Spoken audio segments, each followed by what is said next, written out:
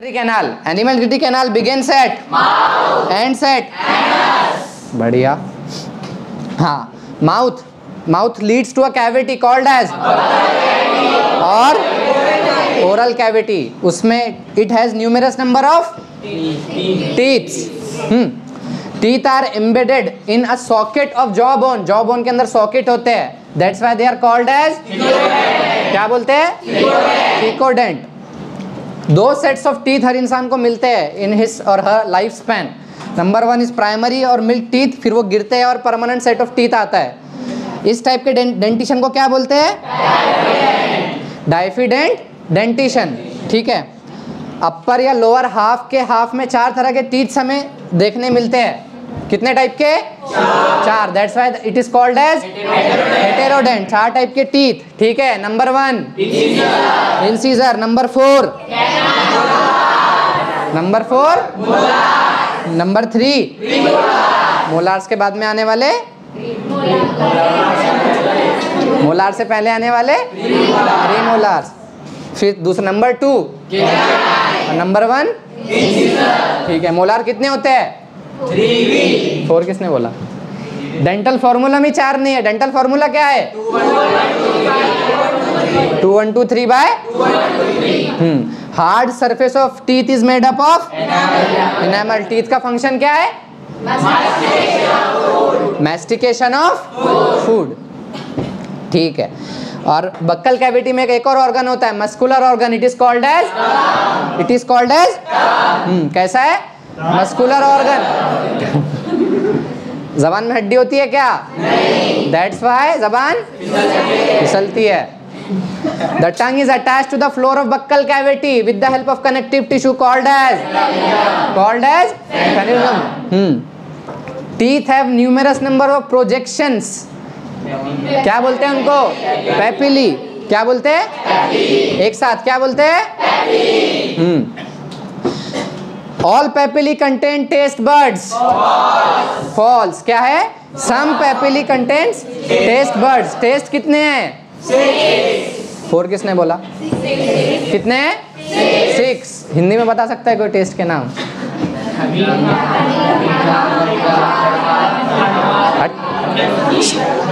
Sweet मधुर।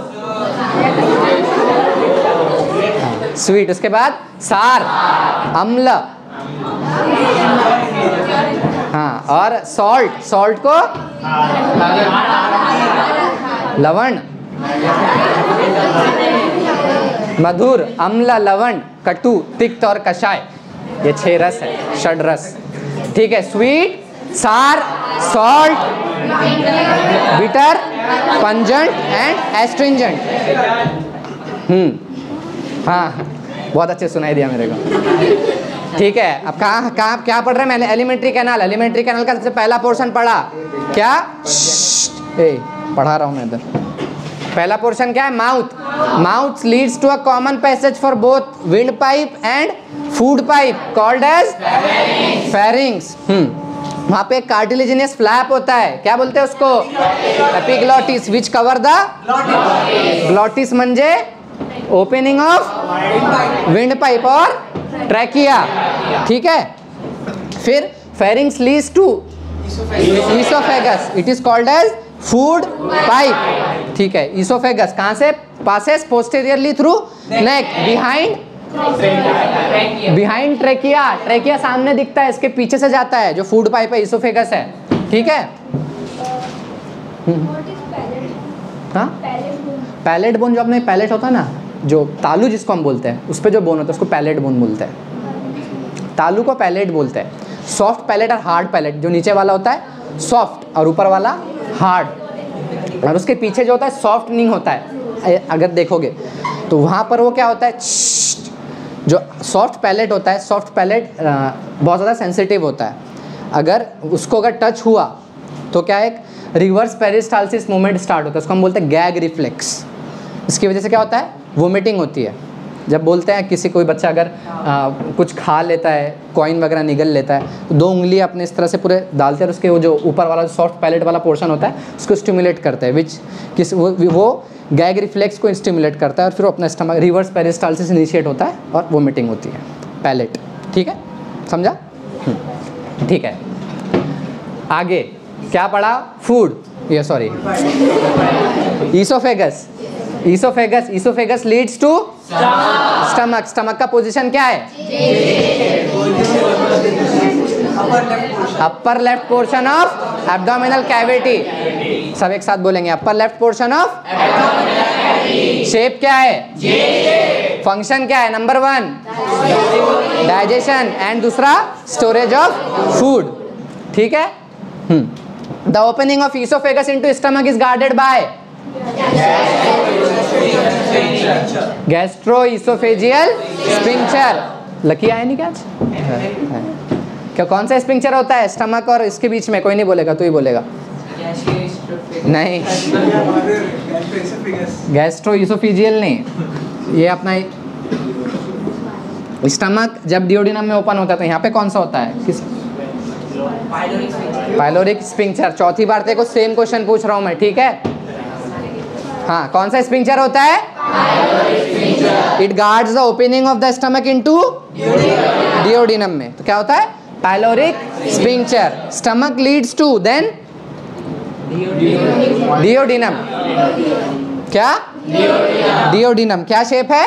सी shape दो limbs के बीच में कौन सा ग्लैंड पेनक्रियाज ठीक है? Duodenum duodenum then leads to jejunum कहाँ पर होती है? Upper left of abdominal cavity कैसा होता है? Jejunum coil jejunum leads to ileum lower right portion of abdominal cavity और क्या होता है? हाईली कॉइल क्या होता है? हाँ. Duodenum jejunum ileum ileum leads to caecum क्या? सीकम सीकम से कौन सा ऑर्गन एक वेस्टिजल ऑर्गन क्या राइज होता है?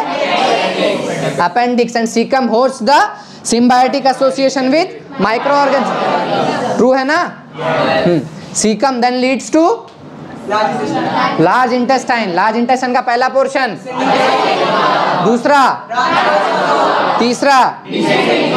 फिर again sigmoid then rectum and then anal canal या हाँ anal canal and then anus ठीक है एनस क्या होता है ये पूरा? क्या पढ़ा हमने अभी तक कि ये पूरा? Alimentary canal alimentary canal plus associated gland is equal to digestive system पहला पोर्शन पढ़ लिया. क्या? एलिमेंट्री कैनाल एलिमेंट्री कैनाल के बाद हमने वॉल्स ऑफ़ एलिमेंट्री कैनाल पढ़े थे. ठीक है कितने वॉल्स है? Four. कितने four inner most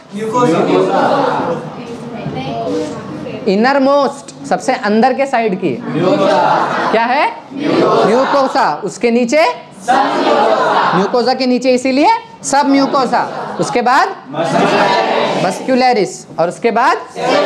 सेरोसा कौन सी ऐसी लेयर है जिसके जो दो लेयर से बनी हुई होती है? कौन सी? मस्क्यूलरिस आउटर इनर सर्कुलर और समटाइम्स कौन सी लेयर प्रेजेंट होती है बीच में? ऑब्लिक लेयर सेरोसा कैसे बना हुआ है? मेजोथेलियम मेजोथेलियम कौन सी लेयर है जो इससे सप्लाइड होती है with capillaries and blood vessels submucosa वहाँ से क्या म्यूकोजा से एब्जॉर्प्शन होकर किसके थ्रू जाएगा? सब म्यूकोजा के थ्रू विद इसलिए वहाँ पे क्या होते हैं? कैपिलरीज का इन सबका नेटवर्क होता है। ठीक है? जो म्यूकोजा होती है म्यूकोजा स्टमक में जो इरेगुलर फोल्डिंग होते हैं म्यूकोजा को उसको क्या बोलते हैं? एक साथ। क्या बोलते हैं? और स्मॉल इंटेस्टाइन के अंदर जो फोल्डिंग्स होती है विलाय क्या बोलते हैं? विलाय के ऊपर न्यूमेरस प्रोजेक्शंस होते हैं। Which enhances the surface area for hmm. villi are supplied with a lymph vessel called as villi are supplied with uh, the called as? कौन सी वेसल होती है यहाँ पे? क्या बोलते हैं उसको? लेक्टियल बोलते हैं। क्या बोलते हैं? हम्म। और क्या होते हैं इसके साथ साथ में? कैपिलरीज होते हैं। ठीक है? All the layers of alimentary canal shows modification in different parts true है या फॉल्स है? ट्रू है ना? ये हो गया एलिमेंट्री कैनाल। उसके बाद क्या पढ़ा? एसोसिएटेड ग्लैंड्स एसोसिएटेड कितने ग्लैंड्स है? थ्री पहला। दूसरा। और तीसरा। हम्म कितने स्लाइवरी ग्लैंड है? मैंने पूछा कितने? तो टोटल बताने होते हैं। सिक्स कितने? कितने पेयर थ्री पेयर्स जो मैंडिबल के नीचे रहेगी उनको क्या बोलेंगे? Submandibular lingua means tongue bilingual the person who spokes two languages को बोलते हैं बायलिंगुअल ट्रायलिंगुअल ठीक है? लिंगवोल लिंगवोलॉजिस्ट आते हैं जो, जिनको जबान, भाषाओं का काफ़ी ज़्यादा नॉलेज होता है, उनको लिंगवोलॉजिस्ट बोलते हैं। तो लिंगवा यानी टंग तो ऐसे सलाइवरी ग्लैंड जो लिंग सॉरी टंग के नीचे है, उनको क्या बोलेंगे? नीचे, यानी सब सब लिंगवल, क्या बोलेंगे? सब लिंगवल। और जो चीक के पीछे होते हैं, उनको क्या बोलते हैं? सब पैरोटेड। समझ में आया तक के? सला सलाइवरी ग्लैंड क्या सिक्रेट करते हैं? Saliva content of saliva number one number one number two lyso? Lyso? क्या होता है? ये क्या काम करता है? क्या? To kill the bacteria. Bacteriocytes, बोल सकते हैं ना? उसको मारता है ना? ठीक है, समझा यहाँ तक? हाँ लाइसोजाइम। उसके साथ उसके साथ में एक और कौन सा एंजाइम होता है? Salivary amylase it is also called as carbohydrate splitting enzyme क्या बोलते हैं? क्या? कार्बोहाइड्रेट स्प्लिटिंग एंजाइम क्या करता है ये? कार्बोहाइड्रेट को ब्रेक डाउन करता हाँ। ग्लूकोज का कन्वर्जन किसमें करता है? डायसेक्राइड्स में। कौन? सलाइवरी अमाइलेज इसके लिए पीएच कितना होता है? ऑप्टिमम पीएच कितना होता है? 6.8 6.8 एसिडिक है या न्यूट्रल है? क्लोज टू न्यूट्रल है। हम्म। समझा यहाँ तक? हाँ। ये हो गया हमारा पहला ग्लैंड कौन सा? दूसरा ग्लैंड लीवर लीवर कहाँ क्या है सबसे पहले? लार्जेस्ट ग्लैंड ऑफ़ द क्या है? Largest gland of the body कहाँ पर सिचुएटेड है? लोकेशन क्या है? वेट कितना होता है? 1.2 टू 1. 1.3 टू 1.2 क्या ही फ़र्क पड़ा? ठीक है मतलब 1 पॉइंट किसी का 1.29 है मतलब उसका लीवर अच्छा नहीं है क्या? ठीक है 1.3 टू 5 के जी कितने लोब्स है? टू लोब्स कौन सा लिगामेंट मैंने बताया था? दो लीवर लीवर के दोनों लोब्स को सेपरेट करने वाला ligament ligamentum teres which is the remnant of जब फिटस होता है तो नहीं, वो नहीं बताया ना। It is are remnant of left umbilical vein नहीं, याद रखने की ज़रूरत नहीं है वैसे। आगे पढ़ोगे। ठीक है। हाँ लीवर लीवर पे जो एक जो structural functional unit of liver क्या है? हिपैटिक लोब्यूल्स उसमें जो हिपैटिक सेल्स होते हैं, कैसे अरेंज होते हैं? In the form of cords in the form of hepatic lobules are covered with the thin capsule क्या बोलते हैं? एक साथ। कौन सी कैप्सूल क्या कवरिंग है? ग्लीसन्स कैप्सूल क्या?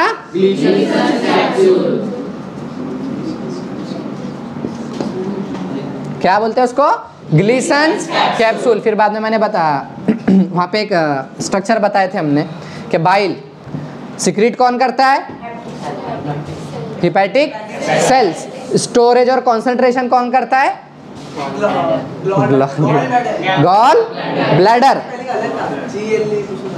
G A double L नहीं भाई, मैं पढ़ा हूँ एनाटॉमी काफ़ी अच्छे से। गॉल ब्लैडर सो ये है लिवर इसके नीचे से गॉल ब्लैडर ऐसे वो होता है। बेसिकली पीछे होता है, लेकिन हमने उसको ऐसे निकाला यहाँ से इमेजिन करो। तो विद द हेल्प ऑफ़ कौन सी डक्ट होती है? यहाँ पे जो बाइल फॉर्म हो रहा है, वो इसमें गॉल ब्लैडर में कौन सी डक्ट्स के थ्रू जाता है? सिस्टिक डक्ट क्या? सिस्टिक डक्ट सिस्टिक मैंने बताया था मतलब सिस्ट यानी कोई इनलार्जमेंट नोड्यूल ऐसे निकलता है। सिस्ट फॉर्मेशन बोलते हैं। तो लीवर का सिस्ट है। जिसको हम क्या बोल रहे हैं? गॉल ब्लैडर और इसीलिए उसकी जो डक्ट है, उसको क्या बोलते हैं? सिस्टिक डक्ट क्या बोलते हैं? डक्ट हम्म। और जो आर्टरी है, कौन सी, दोनों मिलके क्या बनाते हैं? कौन सी डक्ट कॉमन बाइल डक्ट सब भूल गए हो। ये यहाँ से दो लीवर के आर्टरीज आ रहे हैं हिपैटिक आर्टरीज और यहाँ से कौन सा? सिस्टिक डक्ट दोनों मिलके क्या बना रहे हैं? C B D common bile duct एक साथ क्या? कौन सी डक्ट हाँ? सी बी डी हाँ। सी बी सी टेस्ट होता है ब्लड टेस्ट होता है। हॉस्पिटल में था ना आज, इसीलिए। क्या? C B D common bile duct common bile duct और यहाँ से जो पेनक्रियाटिक डक्ट आता है वो दोनों एक साथ मिलके कौन सी कौन सी डक्ट बनाते हैं? हिपैटो पेनक्रियाटिक डक्ट हिपैट ये यहाँ ये पोर्शन किस चीज़ का है? लीवर से आ रहा का दूसरा नाम? हिपैटो तो ये पूरे ऑर्गन के एंटिटी को इसलिए हम क्या बोलते हैं? हिपैटो यहाँ पेनक्रियास से तो दोनों मिल रहे हैं। इसलिए हिपैटो पेनक्रियाटिक डक्ट ठीक है? हिपैटो पेनक्रियाटिक डक्ट और ये कहाँ पर ओपन होती है? कहाँ पर? डिओडिनम में। कहाँ पर? डिओडिनम यहाँ पर कौन सा स्पिंक्चर होता है? Sphincter of Oddi Oddi sphincter of Oddi या ऑडाई स्पिंक्चर ऑफ़ ऑडाई कौन सा स्पिंक्चर होता है? ठीक है चलो अब डब, डब, सब आंसर्स दो। हिपैटिक डक्ट हिपैटिक आर्टरी और जो सिस्टिक डक्ट होता है दोनों मिला के कौन सी आर्टरी बनाते हैं? या कौन सी डक्ट बनाते हैं? Common bile duct common bile duct और पेनक्रियाटिक डक्ट मिलके क्या बनाता है? विच ओपन इनटू विच हाँ opening is guarded by sphincter of Oddi समझा? ये हो गया हमारा लिवर इसके बाद पेनक्रियास कैसा ग्लैंड है? मिक्सोक्राइन ग्लैंड या मिक्स टाइप ऑफ़ ग्लैंड बताया था ग्लैंड के दो टाइप होते हैं। पहला एंडोक्राइन ग्लैंड ये क्या होता है? डक्टलेस ग्लैंड बोलते हैं इनको। इनके सिक्रीशन को क्या बोलते हैं? हार्मोन्स क्या बोलते हैं? और वो सिक्रेशन का डायरेक्टली किसमें होता है? ब्लड में होता है। ये ऐसे ग्लैंड जिनका सिक्रेशन डायरेक्टली ब्लड में होता है विद द हेल्प ऑफ़ मतलब उसमें without the help of any kind of duct it is called as endocrine glands और जिनके पास अपनी खुद की डक्ट होती है, वो स्पेसिफिक लोकेशन पे अपने सिक्रीशंस करते हैं, इसलिए उनको क्या बोलते हैं? एक्सोक्राइन ग्लैंड तो ये जो ये जो पेनक्रियाज होता है, क्या होता है? बोथ होता है मिक्सोक्राइन ग्लैंड होता है. ठीक है, इसका एक एंडोक्राइन पोर्शन भी होता है, एक एक्सोक्राइन पोर्शन भी होता है. एक्सोक्राइन पोर्शन क्या सिक्रेट करता है? पेनक्रियाटिक जूस जो डाइजेशन में हेल्प करता है, जो कि क्या होता है? अल्कली होता है. और एंडोक्राइन पोर्शन क्या सिक्रेट करता है? इंसुलिन क्या बोलते हैं? इंसुलिन हाँ ठीक है, मैंने एक और चीज़ बता था। Insulin is secreted by beta cells of islets of Langerhans of pancreas क्या? Beta cells of islets of Langerhans of pancreas endocrine portion के आईलेट ऑफ़ लंगर हैंड के बीटा सेल्स क्या सिक्रेट करते हैं? इंसुलिन और उसके अल्फ़ा सेल ग्लूकागॉन लेकिन रहने दो अभी वो बाद में पढ़ेंगे। ठीक है ये हमने क्या अभी पूरा डाइजेस्टिव सिस्टम हमने पढ़ा था कि डाइजेस्टिव डाइजेस्टिव सिस्टम किससे बना होता है? Alimentary canal and associated glands ये पूरा रिवाइज भी हुआ। इसके बाद क्या पढ़ा था? प्रोसेस ऑफ़ डाइजेशन खाना कहाँ तक था? कहाँ तक पहुँचे थे हम? ठीक है स्टमक तक ही पहुँचे थे। पिछले दस दिनों से खाना ही नहीं पचा पा रहे हो तुम लोग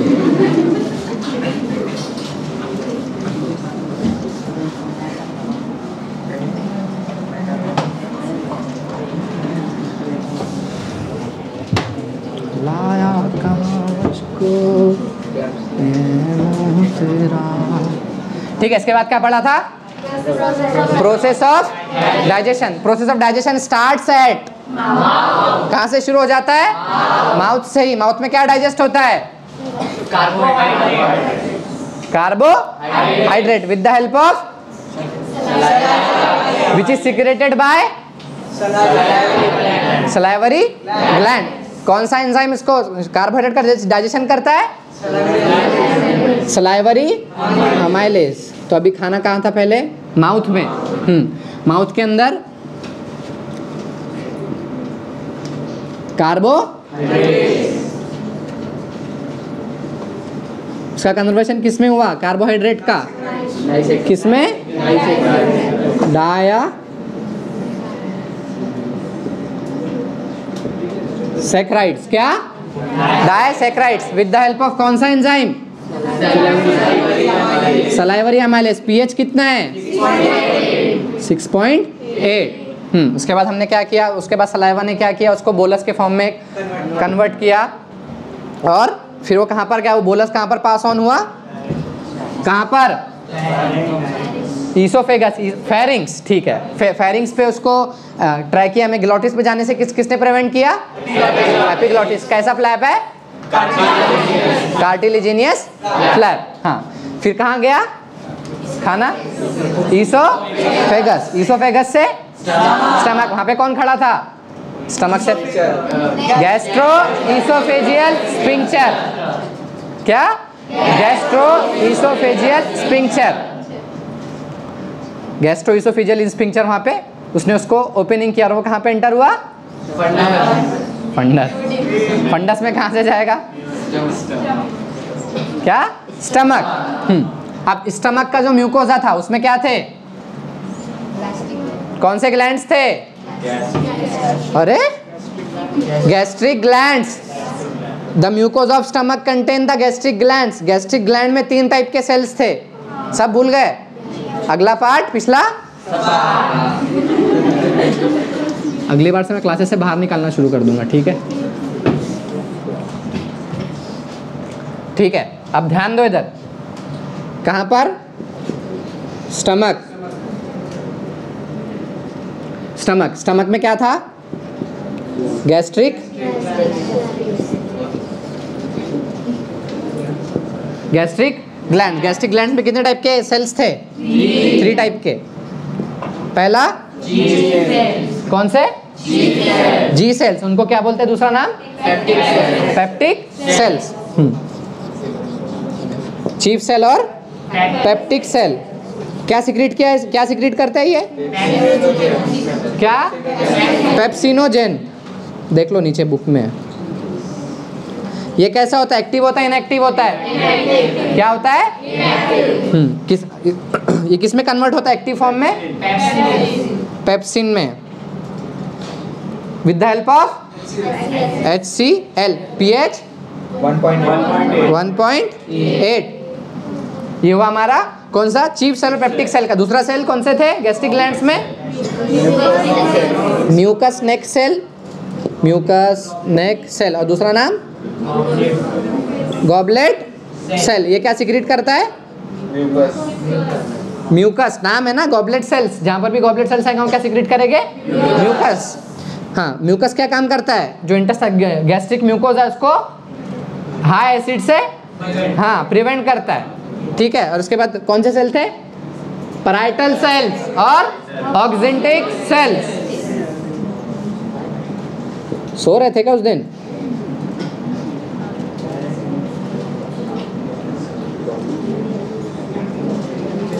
ये क्या सिक्रेट करते हैं। क्या? एच सी एल और ये एच सी एल पेप्सिनोजन को पेप्सिन में कन्वर्ट करता है।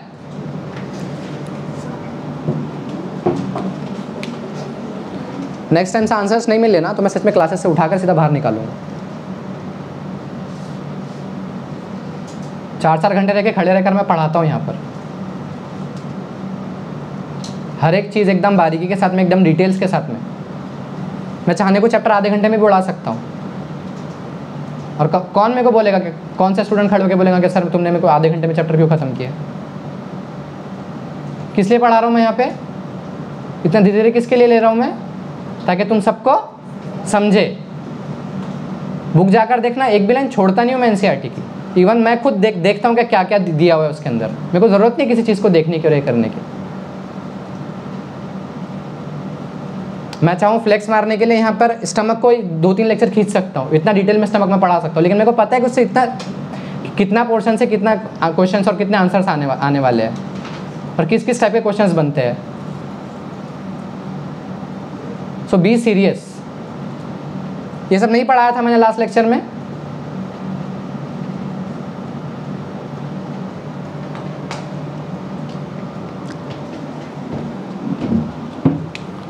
अभी सबके सब ध्यान दो क्योंकि अगला जो पढ़ा होगा ना ये सबके बेसिस पर है। इसीलिए मैंने पर्सनली मैसेज डाला था सर के फ़ोन से कि सबके सब रिवाइज कर कर आना।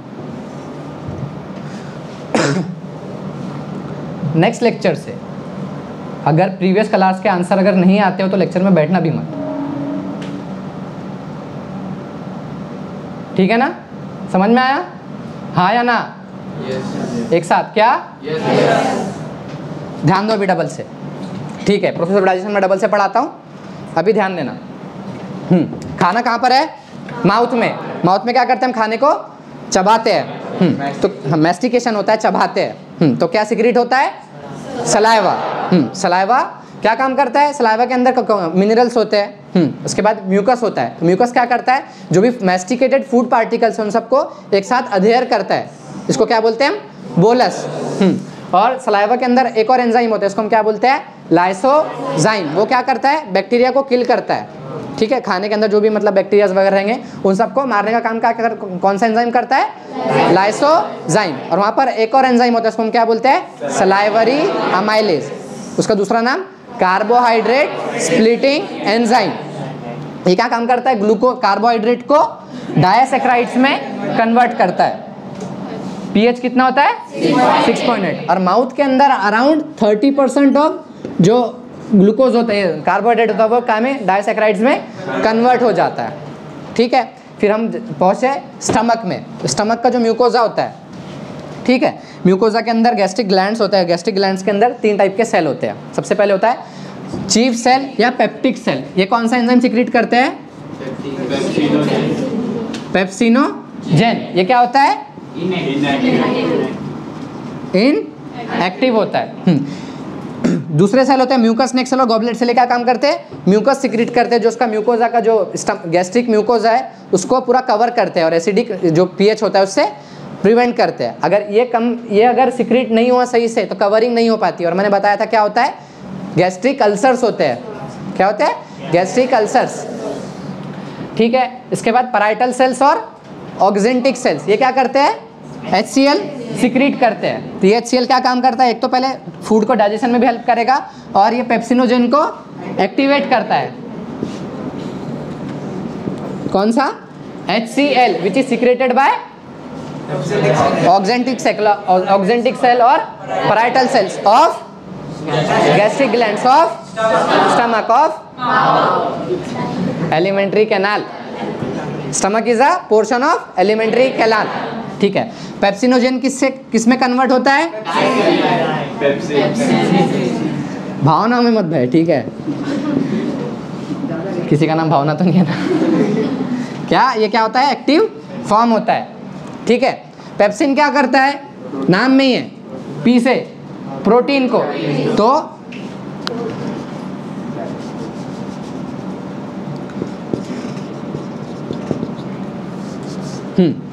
pepsinogen get converted into pepsin with the help of HCl which is secreted by parietal cell or exentic cell of gastric glands of stomach. ठीक है ये समझ में आया सबको? किसी को कोई इसमें डाउट वगैरह है? हम्म, ठीक है। पेप्सिन प्रोटीन्स को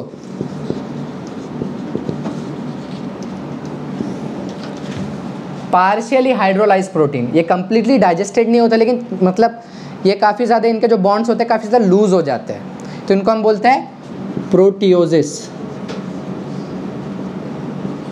पेप्टोन्स। समझ में आया?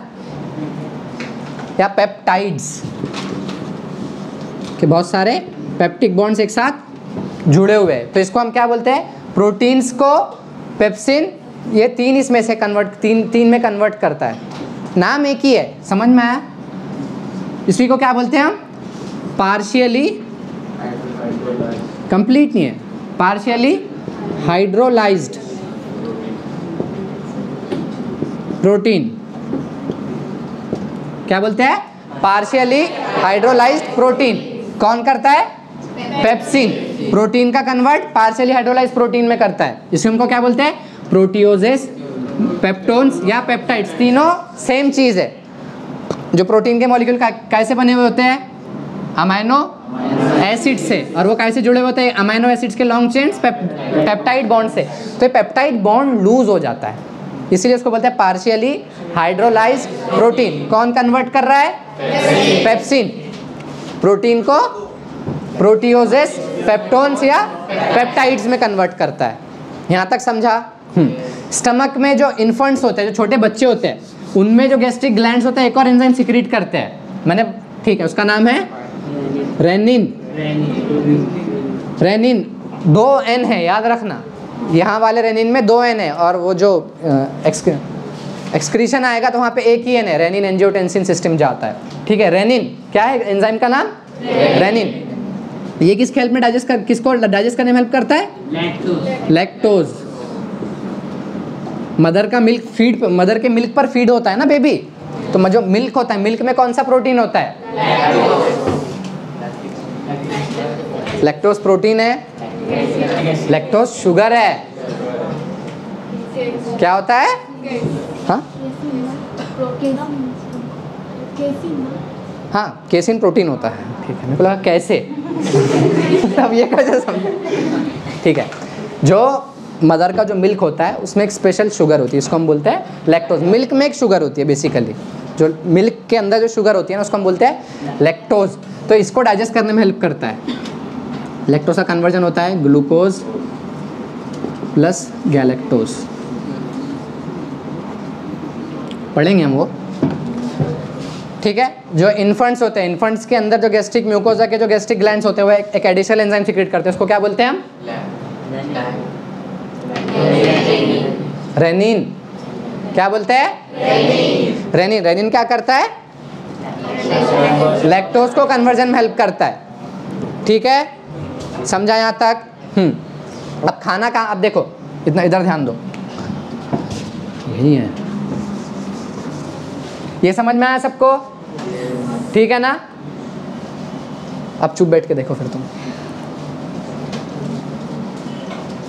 अगर मैं इतनी मेहनत से तुमको पढ़ा रहा हूँ तो मेरे मतलब मेरे तरफ़ से भी तुम लोगों से कुछ एक्सपेक्टेशन है कि तुम आंसर्स दो, ये करो। फिर तुम अगर उस चीज़ को नहीं मतलब नहीं फुलफिल कर पाओ तो फिर मेरा क्या फ़ायदा है यहाँ पर आकर? सही है गलत है? इतना तो समझता है तुम सबको। फिर पढ़कर कौन आएगा? मैं? है ना? पढ़ाना तो मुझे तो आप ही पढ़ कर आओ।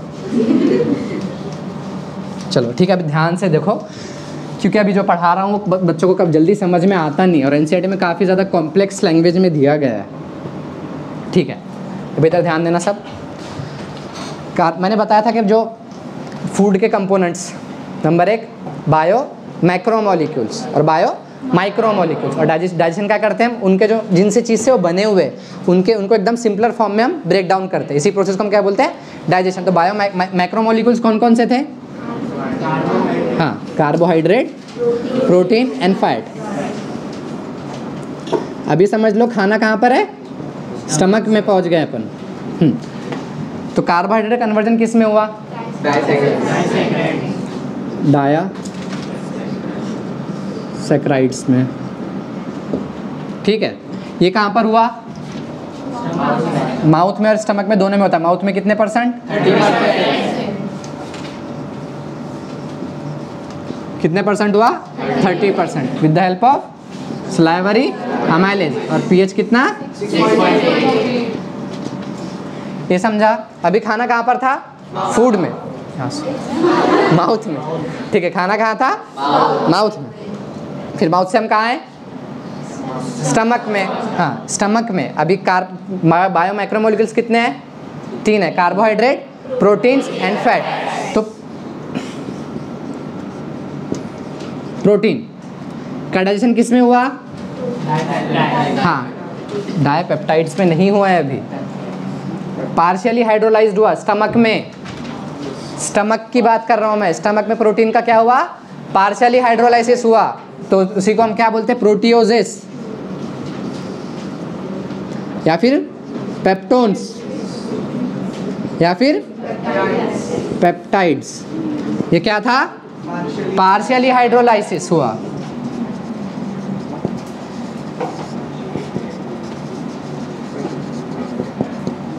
ठीक है? यहाँ तक समझा? किस, किसकी मदद से हुआ ये सब? कौन सा एंजाइम पेप्सिन इसका इनएक्टिव फॉर्म कौन सा है? पेप्सिनोजेन ये एक्टिव फॉर्म में किसकी हेल्प से कन्वर्ट होता है? हाँ और पीएच कितना होता है? 1.8 समझा? हम्म, तो कार्बोहाइड्रेट भी डाइजेस्ट हमने किसमें करवाए? डायसेक्राइड्स में. और प्रोटीन स्टमक के अंदर प्रोटीन का पार्शियल हाइड्रोलाइसिस होकर क्या क्या बने हो? प्रोटियोजेस पेप्टोन्स और पेप्टाइड्स डायपेप्टाइड्स मतलब दो अमाइनो एसिड्स ऐसे दो अमाइनो एसिड के मॉलिक्यूल जब एक साथ जुड़े हुए तो उनको हम बोलेंगे डायपेप्टाइड्स डायपेप्टाइड्स नहीं है प्रोटीन की लॉन्ग चेन्स होती है। उनके अंदर जो पेप्टाइड बॉन्ड्स होता है वो वीक हो जाता है। इसलिए बोलते हैं पार्शियली हाइड्रोलाइज प्रोटीन क्वेश्चन अगर ऐसे आया कि proteins are get converted into dipeptides stomach small duodenum mouth और ऑल ऑप्शन आंसर क्या रहेगा? नहीं। ये डायपेप्टाइड्स नहीं है। प्रोटीन का डायपेप्टाइड के अंदर कन्वर्जन आगे होगा, जब वो कहाँ पे जाएँगे? डिओडिनम में। ठीक है फर्दर अभी तीसरा कंपोनेंट क्या था? बायोमोलिकुलर फैट तो फैट का डाइजेशन अभी हमने पढ़ा ही नहीं है। वो जब फ़ूड आगे पास ऑन होता है, तब होता है। समझ में आया ना? प्रोटीन का डायपेप्टाइड में कन्वर्जन नहीं होता है डायरेक्ट इतना ध्यान में रखो। कार्बोहाइड्रेट का कन्वर्जन डायसेक्राइड डायसेक्राइड का कन्वर्जन मोनोसेक्राइड्स में होता है। ऐसे आगे जाएँगे। तो protein proteases partially hydrolysis of protein dipeptide dipeptide का फर्दर कन्वर्जन किसमें होगा? अमाइनो एसिड्स तो ऐसे स्टेप वाइज होता है। तो स्टमक के अंदर प्रोटीन का कन्वर्जन हुआ है डाइजेशन हुआ है लेकिन वो कैसा है? पार्शियली हाइड्रोलाइसिस है। इसलिए क्या बोलते हैं? पार्शियली हाइड्रोलाइज्ड प्रोटीन्स क्या नाम है? प्रोटियोजेस पेप्टोन्स या peptides with the help of pepsin pH pepsin का inactive form which is secreted by pepsinogen is secreted by? Chief cell और पेप्टिक सेल ज़ोर से। Pepsinogen is secreted by? हाँ of gastric glands of stomach हाँ या फिर gastric mucosa stomach के भी क्या है? प्रॉपर टर्म बोले तो गैस्ट्रिक म्यूकोजा म्यूकोजा लेयर के अंदर गैस्ट्रिक ग्लैंड है ना? समझा यहाँ तक हम्म, अब फ़ूड गया कहाँ? ये रिएक्शन को ऐसे रहने दो हम देखते हैं आगे। अरे यार। ठीक है अभी फ़ूड कहाँ पर है? स्टमक में। स्टमक से कहाँ जाएगा? डिओडिनम में।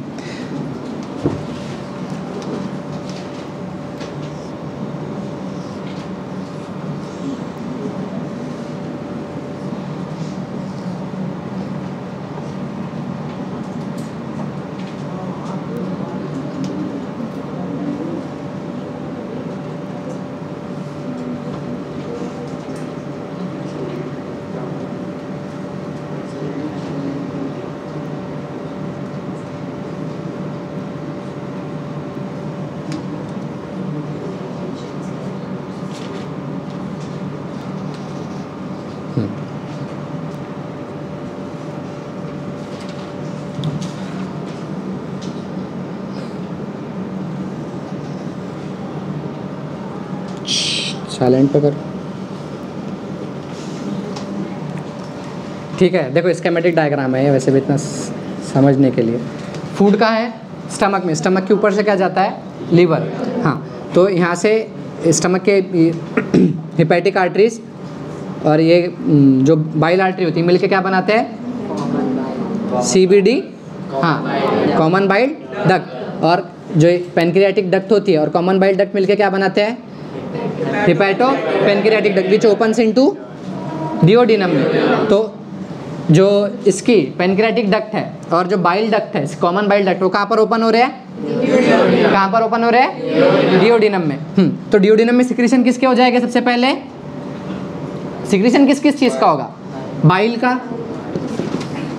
समझ में आया बाइल का कैसे? कॉमन बाइल डक्ट के through common bile duct ultimately किसमें मिल रहा है? हिपैटो पेनक्रियाटिक डक्ट में। और वो कहाँ पर ओपन हो रही है? डिओडिनम में। तो सबसे पहला सिक्रीशन किस मतलब कौन कौन से सिक्रीशन होंगे इसके अंदर? डिओडिनम में। तो क्या हो जाएगा? बाइल दूसरा?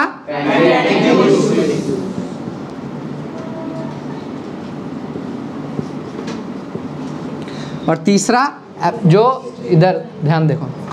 जो डिओडिनम है डिओडिनम के खुद के जो गैस्ट्रिक जो म्यूको डिओडिनल म्यूकोजा जो होता है डिओडिनल म्यूकोजा के खुद के सिक्रीशंस होते हैं। उसको हम बोलते हैं इंटेस्टाइनल जूस क्या बोलते हैं?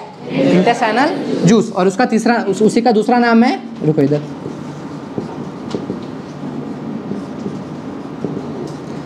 और इसी का दूसरा नाम है सक, सल्कस इंटेरिकस सक्कस इंटेरिकस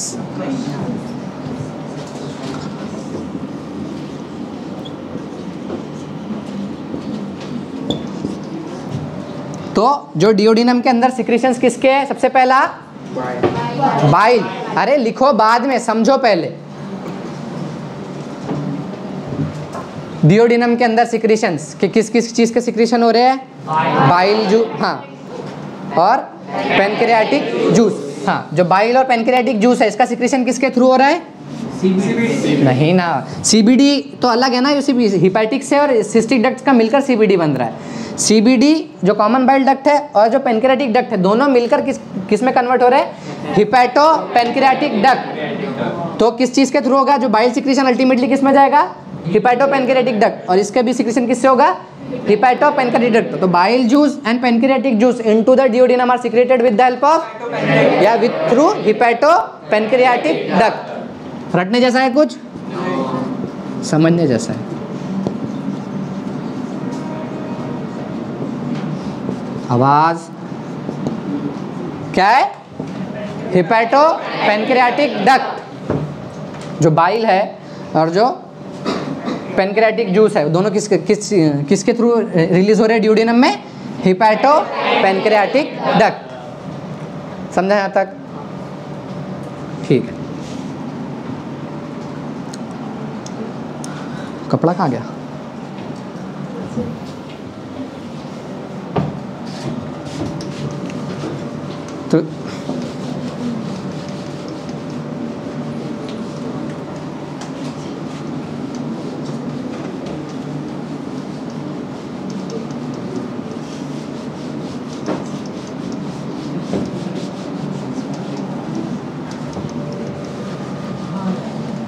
चलो, देखो इधर, अभी फ़ूड स्टमक से कहाँ जा रहा है? डिओडिनम में हाँ। कौन सा स्पिंक्चर प्रेजेंट रहेगा वहाँ पर? कौन सा? पाइलोरिक स्पिंक्चर वो ओपन होगा और फ़ूड कहाँ जाएगा? डिओडिनम में हाँ डिओडिनम में सिक्रीशन सबसे पहले किसका हो रहा है? बाइल दूसरा? और तीसरा? इंटेस्टाइनल उसका दूसरा नाम सक्कस इंटेरिकस क्या है? इंटेरिकस ठीक है। ये दो रिएक्शन समझ में आए? यहाँ तक समझ में आ गया ना? सब, सबको अच्छे से?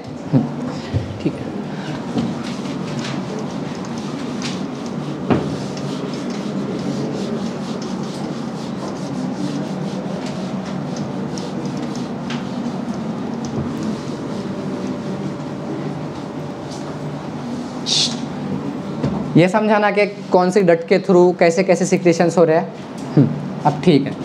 तो सबसे पहले पढ़ते हैं हम पेनक्रियाटिक जूस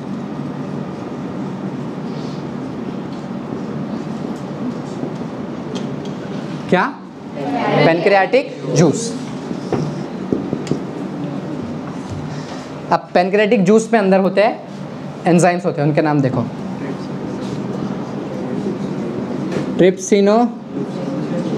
ट्रिप्सिनोजेन पहले क्या था एक? पेप्सिनोजेन वो कैसे था? कैसे था? इनएक्टिव। तो ये एक्टिव रहेगा कि इनएक्टिव रहेगा? इनएक्टिव। तो ट्रिप्सिनोजेन काइमोट्रिप्सिनोजेन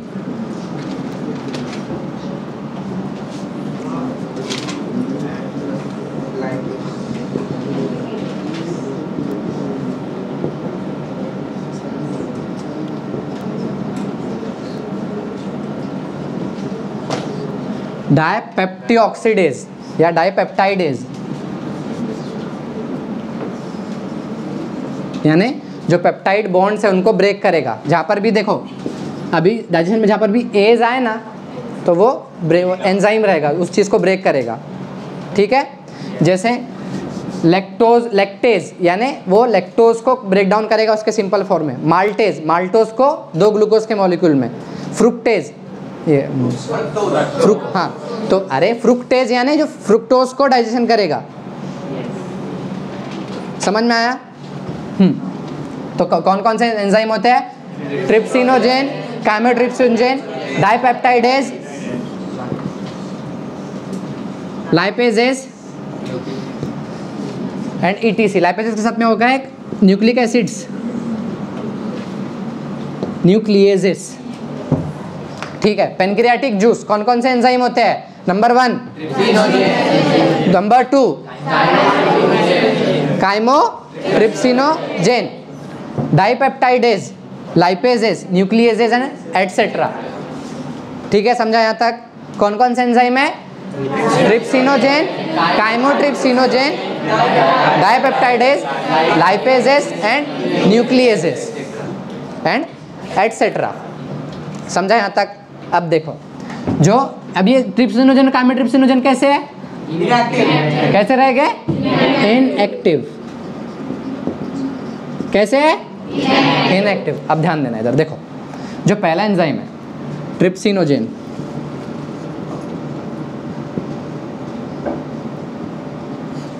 अब ये किसमें कन्वर्ट होगा? जेन हटा दो। Trypsin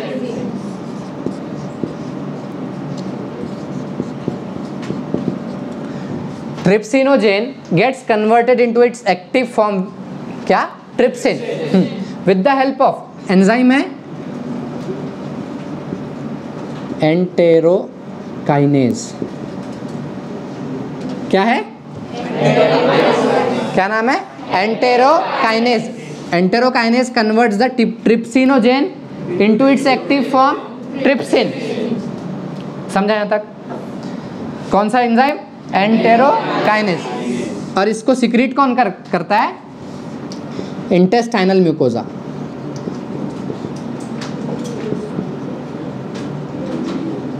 जो इंटेस्टाइनल म्यूकोजा है वो खुद ही उसको सिक्रीट करती है। किसको?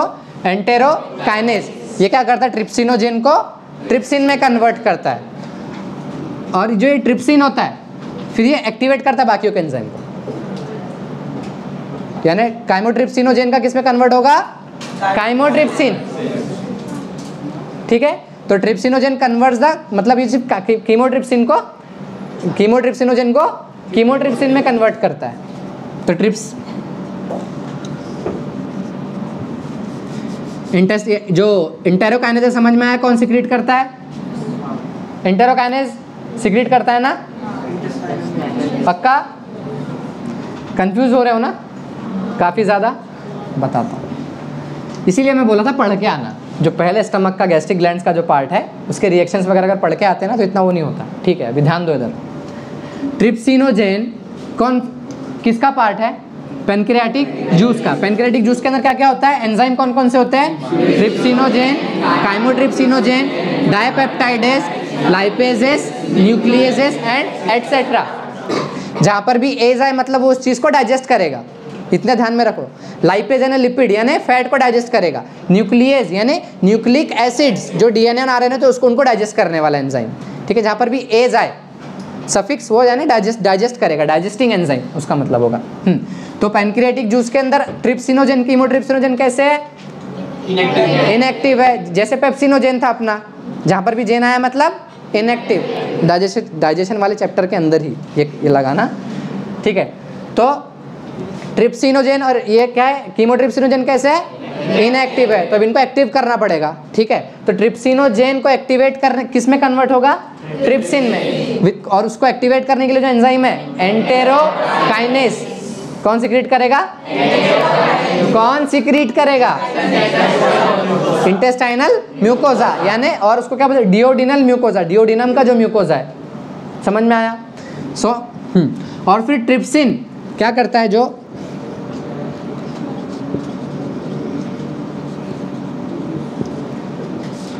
काइमोट्रिप्सिनोजेन को हाँ। काइमोट्रिप्सिन में कन्वर्ट करता है। ये क्या हो जाएँगे? दोनों ट्रिप्सिन एंड कीमोट्रिप्सिन क्या हो जाएँगे? एक्टिव फॉर्म हो जाएँगे। अरे लिखो बाद में, इधर ध्यान दो। ठीक है? डिओ अभी फ़ूड हमारा कहाँ पहुँचा है? डिओडिनम में। अब जैसी फ़ूड पहुँचा वहाँ पे कितने सिक्रीशंस हो गए क्या क्या सिक्रीशंस रहेंगे एक तो गैस्ट्रिक जूस उसमें पहले से मिला हुआ रहेगा, जो इससे आएगा, ठीक है? उसके अंदर पेनक्रियाटिक जूस उसमें सिक्रीट होगा। उसके अंदर क्या क्या रहेंगे trypsinogen chymotrypsinogen dipeptidase lipases and nucleases समझा? कार्बोक्सीपेप्टाइडेज समझा यहाँ तक? हम्म। सो फिर जो ट्रिप्सिनोजेन जो होता है, और कीमोट्रिप्सिनोजेन है, ये क्या हो गए? इनएक्टिव रहेंगे तो ट्रिप्सिनोजेन का कन्वर्जन ट्रिप्सिन में किसकी हेल्प से होता है? Enterokinase which is secreted by intestinal mucosa trypsin in turn activates the chymotrypsinogen into chymotrypsin समझा यहाँ तक? समझा? कार्बोक्सीपेप्टाइडेज कार्बोक्सी डाइपेप्टाइडेज अलग हो जाएगा। देखो, यहाँ मैंने लिखा डाई पेप्टाइडेज यानी दो पेप्टाइड को ब्रेक करने वाला। समझ में आया? डाईपेप्टाइडेज यहाँ पे आएगा नहीं। यहाँ पे आएगा कार्बोक्सी पेप्टाइडेज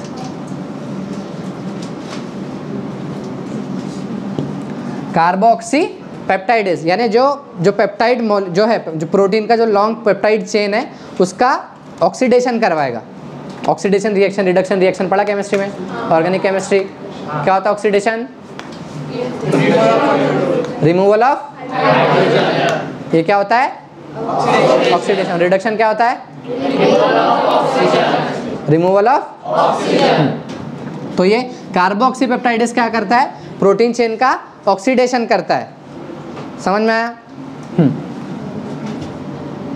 पेनक्रेटिक जूस ठीक है हम क्या पढ़ रहे हैं? पेनक्रेटिक जूस उससे कंटेंट क्या है? नंबर वन चलो बोलो जल्दी जल्दी, फिर आगे बढ़ते हैं। Trypsinogen number two chymo chymotrypsinogen ये कैसे है दोनों? इनएक्टिव इसके बाद कार्बोक्सी पेप्टिडेज क्या? Carboxypeptidase lipases nucleases and etcetera lipases क्या करता है? डाइजेशन ऑफ़ मतलब फैट्स किसको? डाइजेशन ऑफ़ फैट ठीक है? Chymotrypsinogen gets converted into its active form with the help of trypsin and trypsin gets converted into its active form with the help of which is secreted by समझ में आ गया तो अभी अपने पास active form जो हमें उनसे मतलब है ठीक है तो रिएक्शंस मिटा दिया मैंने है ना हमारा प्रोटीन स्टमक में था तो स्टमक में से कहाँ कहाँ तक डाइजेशन हुआ था पार्शियली हाइड्रोलाइसिस में क्या नहीं समझ में आ रहा नहीं समझ में आ रहा क्या कहाँ से? ठीक है मैं बताता हूँ बाद में। जो हमारा प्रोटीन स्टमक के अंदर था स्टमक के अंदर गैस्ट्रिक ग्लैंड्स। गैस्ट्रिक ग्लैंड्स के थ्रू प्रोटीन ये जो पेप्टिक सेल्स थे पेप्टिक सेल्स से पेप्सिनोजेन। और पेप्सिनोजेन का में कन्वर्ट हुआ? Pepsin. With the help of H C L. हाँ अब वहाँ पर प्रोटीन का क्या हुआ? पेप्सिन ने क्या किया? प्रोटीन को पार्शियली हाइड्रोलाइज किया। किसमें कन्वर्ट हुआ प्रोटीन्स पेप्टोन्स प्रोटियोजेस और पेप्टाइड्स ये क्या है? पार्शियली हाइड्रोलाइज प्रोटीन कहाँ पर हुआ ये? स्टमक में। लोकेशन क्या था इसका? ये रिएक्शन का? स्टमक किसकी हेल्प से हुआ ये रिएक्शन पेप सिन जब तक घर पे जाके नहीं पढ़ोगे ना, मैं कितनी बच्चे से पढ़ाऊँ, समझ में नहीं आएगा। ये मेरे पढ़ाने के बाद एक बार और घर पे जाके पढ़ना, पढ़ने पर। ठीक है? प्रोटीन का कन्वर्जन कहाँ, क्या, किसमें हुआ? प्रोटी peptones proteoses and peptides with the help of pepsin pH कितना था? 1.8 अब यहाँ से खाना खाना कहाँ गया? जो अभी पार, जो पार्सली डाइजेस्टेड फ़ूड कहाँ गया? डिओडिनम में। डिओडिनम। में। डिओडिनम में एंजाइम कौन कौन से थे? जो एक्टिवेट हुए? ट्रिप्सिन और कीमोट्रिप्सिन और कार्बोक्सी पेप्टाइडेस ये तीनों एंजाइम मिलकर, देखो, यहाँ पर मैं नंबरिंग कर रहा हूँ। हाँ। ये नंबर वन ये नंबर टू और ये नंबर थ्री तो वन टू एंड थ्री ये जो ट्रिप्सिन कीमोट्रिप्सिन और कार्बोक्सी पेप्टाइडेस ये तीनों ने जो ये तीनों एंजाइम है इन्होंने जो स्टमक से जो पार्शियली हाइड्रोलाइज प्रोटीन था प्रोपेप्टोन्स प्रोटियोजेस पेप्टाइड्स इनका कन्वर्सन किया डायापेप्टाइड्स में। किसमें कन्वर्जन किया किसमें? हम्म, कौन सा enzyme trypsin chymotrypsin carboxy peptidase किसमें कन्वर्ट किया इन्होंने? पार्शली हाइड्रोलाइज प्रोटीन जो कि स्टमक से होकर यहाँ पर आए थे डिओडिनम में, उनको डायपेप्टाइड में कन्वर्ट कर दिया। यानी डाय यानी दो, और पेप्टाइड यानी पेप्टाइड बॉन्ड तो अब अब प्रोटीन क्या होता है? अमाइनो एसिड से बने होते हैं ना तो अमाइनो एसिड के अभी यहाँ पर क्या बच रहे हैं? पहले प्रोटीन कैसे थे एकदम? बहुत ज़्यादा अमाइनो एसिड्स के चैन थे एकदम एक, एक के ऊपर अल्फ़ा बीटा ऐसे थ्री डी में ऐसे हम बायोमोलिकुल्स में पढ़ेंगे। ऐसे एक दूसरे के ऊपर पूरे वो थे। यहाँ पर क्या यहाँ पर आने के बाद में क्या हुआ इनका पार्शियल हाइड्रोलाइसिस हुआ। जिनके बॉन्ड थे वो काफ़ी थोड़े सिंपल हो गए लूज हो गए। उनका स्ट्रक्चर थोड़ा और सिंपल हुआ। फिर बाद में यहाँ पे क्या किया, जब डिओडिनम में आए तो ट्रिप्सिन, कीमोट्रिप्सिन और कार्बोक्सी पेप्टाइडेज ने मिलकर क्या किया कि अब सिर्फ़ और सिर्फ़ सारे जो चेन थे, उनको दो दो मॉलिक्यूल में तोड़ दिया। दो दो मॉलिक्यूल ऑफ़ अमाइनो एसिड्स में बचे सिर्फ़ अभी। तो इनको बोलते हैं डायपेप्टाइड। ये दो अमाइनो एसिड किसके थ्रू? एक पेप्टाइड बॉन्ड के थ्रू अटैच होते हैं। इसीलिए इनको क्या बोलते हैं? डायपेप्टाइड्स, यानी दो अमाइनो एसिड्स। अब इसको हमें क्या करना पड़ेगा आगे? मोनोपेप्टाइड में यानी अमाइनो एसिड मोनोपेप्टाइड मतलब सिंगल बॉन्ड अब यानी अमाइनो एसिड्स में उनको ब्रेक करना पड़ेगा। तो अभी तक जब खाना भी कहाँ पर है? डिओडिनम में। जब पेनक्रियाटिक जूस के अंदर ट्रिप्सिनोजेन का कन्वर्जन ट्रिप्सिन में हुआ with the help of enterokinase और फिर ट्रिप्सिन ने कीमोट्रिप्सिन को किसमें कीमोट्रिप्सिनोजेन को किसमें कन्वर्ट किया? कीमोट्रिप्सिन में। और फिर जब ट्रिप्सिन कीमोट्रिप्सिन और कार्बोक्सी पेप्टाइडेज ने मिलकर जो स्टमक से पार्सली हाइड्रोलाइज प्रोटीन आए तो उनको किसमें कन्वर्ट किया? कहाँ पे हो रहा है ये सारा फ़ंक्शन डिओडिनम में। और किस, किस कौन से मतलब कौन से ऑर्गन के सिक्रीशंस की वजह से हो रहा है ये? पेनक्रियाटिक जूस समझ में आ गया। अभी अभी हमने प्रोटीन को कहाँ तक डाइजेस्ट करवा दिया है? डायपेप्टाइड में। मतलब almost eighty eight seventy percent of digestion protein का कंप्लीट हो चुका है। समझ में आया यहाँ तक? Yes. अच्छे से समझ में आया। घर यहाँ पे भी समझ में आएगा लेकिन तुम फिर अगले हफ़्ते में आओगे फिर तुम भूल जाओगे। फिर मैं छोड़ दूँगा क्लास सच में। डाय पेप्टाइड तक अपने प्रोटीन को अभी तक डाइजेस्ट करवाया है। कौन कौन से एंजाइम लगे हमें डाइजेस्ट करवाने के लिए? ट्रिप एंजाइम पूछ रहा हूँ तो एंजाइम कौन से रहेंगे? ट्रिप्सिन कीमोट्रिप्सिन और कार्बोक्सी पेप्टाइडेज ट्रिप्सिनोजेन कीमोट्रिप्सिनोजेन ये क्या है इसके? इनएक्टिव फॉर्म है. ट्रिप्सिनोजेन ट्रिप्सिन में कन्वर्ट किससे हो रहा है? Enterokinase which is secreted by intestinal mucosa trypsin in turns converts the activates the chymotrypsinogen into chymotrypsin फिर बाद में ट्रिप्सिन कीमोट्रिप्सिन कार्बोक्सी पेप्टाइडेज जो स्टमक से पार्सली हाइड्रोलाइज प्रोटीन है पेप्टोन्स प्रोटियोजेज पेप्टाइड्स इनका कन्वर्जन किसमें किया बस यही है। हाँ लिखो।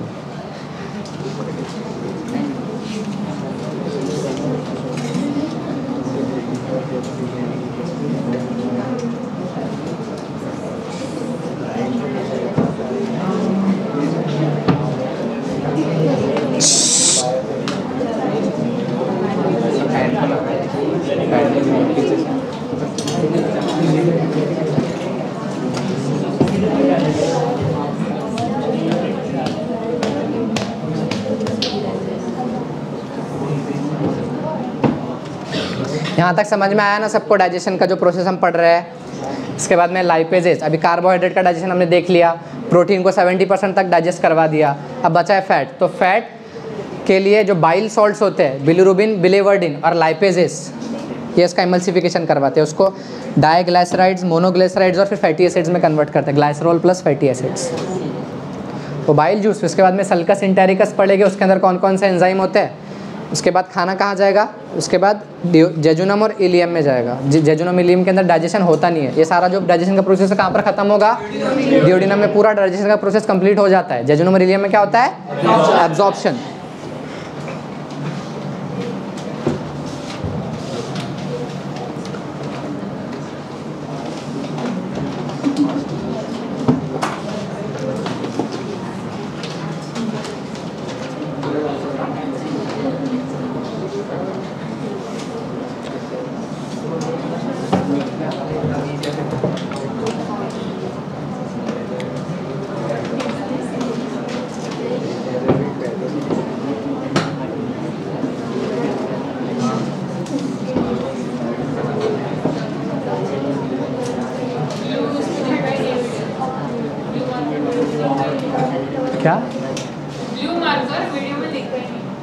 क्या करना है वीडियो से?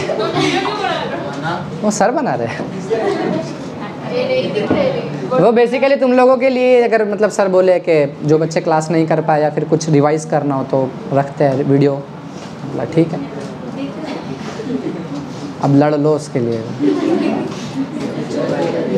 चलो, ठीक है, हम धीरे धीरे बढ़ रहे हैं आगे। मैं आगे बढ़ता हूँ अभी।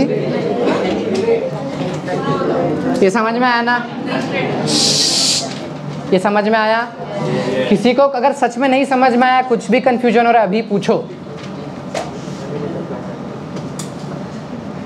लेक्चर के बाद मैं बताता पहले स्टार्टिंग में इसमें नहीं था ना? और कोई नहीं समझ में आया?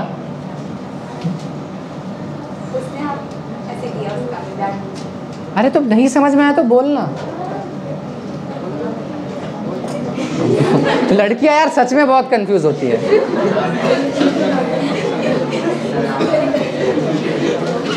कहीं जाने के लिए बोलो तीन घंटा तो तैयार होने को नहीं ड्रेस डिसाइड करने के लिए। अभी वो इस चीज़ के लिए कंफ्यूजन को समझा या नहीं नहीं समझा।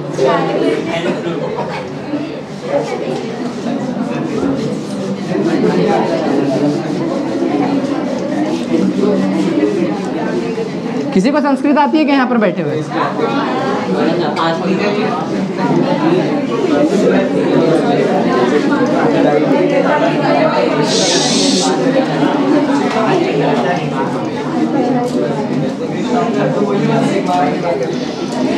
बी एम एस अगर करने का सोच रहे हो तो संस्कृत आना मस्ट है। हाँ हाँ। मैं सीखा हूँ संस्कृत।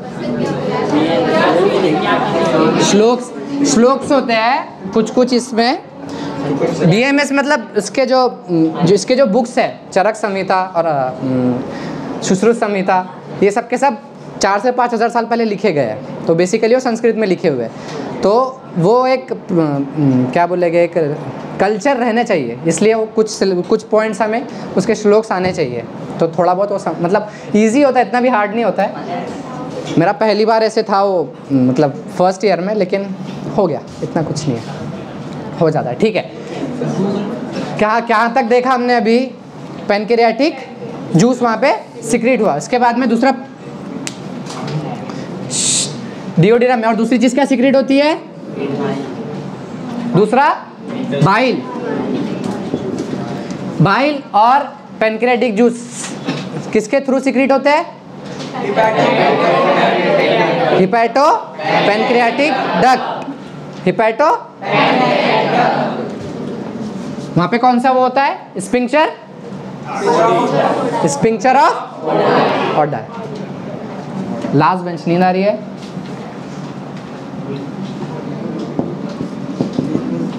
ठीक है। बाइल अभी जो बाइल होता है बाइल के अंदर क्या क्या कंटेंट होते हैं? बिली बिलीरुबिन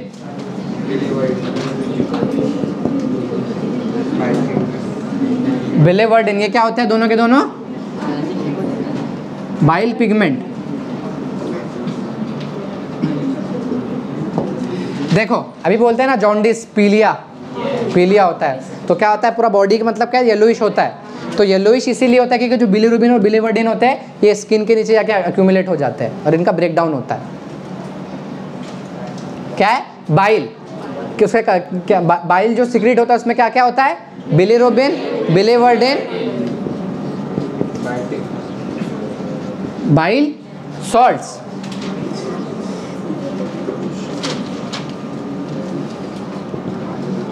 phospholipids और मेनली अभी इसके अंदर जो एंजाइम थे पेनक्रेटिक जूस के अंदर एंजाइम कौन कौन से थे? कीमोट्रिप्सिन ट्रिप्सिन और कार्बोक्सीपेप्टाइडेज न्यूक्लियस ये क्या एंजाइम है? एंजाइम क्या है? बायोलॉजिकल कैटलिस्ट समझ में ये सब क्या है? एंजाइम है।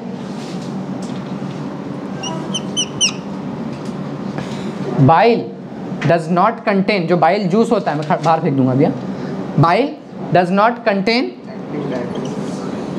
any kind of enzyme याद रखो जो बाइल जूस होता है, उसमें कोई भी टाइप का एंजाइम नहीं होता है। एंजाइम क्या है? रिएक्शन को फास्ट कर कैटलिस्ट की तरह हेल्प कर रहे हैं। उनको हम एंजाइम बोलते हैं। बाइल जूस के अंदर कोई भी एंजाइम नहीं होता है, लेकिन इट एक्टिवेट्स एन एंजाइम इसको हम बोलेंगे। बाइल का काम क्या है? अरे मेनली बाइल का काम होता है सॉल्ट ये सॉल्ट बोल रहा हूँ। फैट को डाइजेस्ट करवाना। समझ में आया? फैट को डाइजेस्ट करने का काम कौन करता है? बाइल। जो बिलीरुबिन बिलेवडिन क्या करते हैं? इमल्सिफिकेशन ऑफ़ फैट फैट को छोटे छोटे टुकड़ों में काटते हैं। इमल्सिफिकेशन ऑफ़ फैट यार, छोटे टुकड़ों में काटना मतलब माइक्रोस्कोपिक लेवल पे। ठीक है ना? ना फैट ला के उसके ऊपर ऐसे बिलीरुबिन बिलेवडिन छिड़क रहे हो तुम लोग।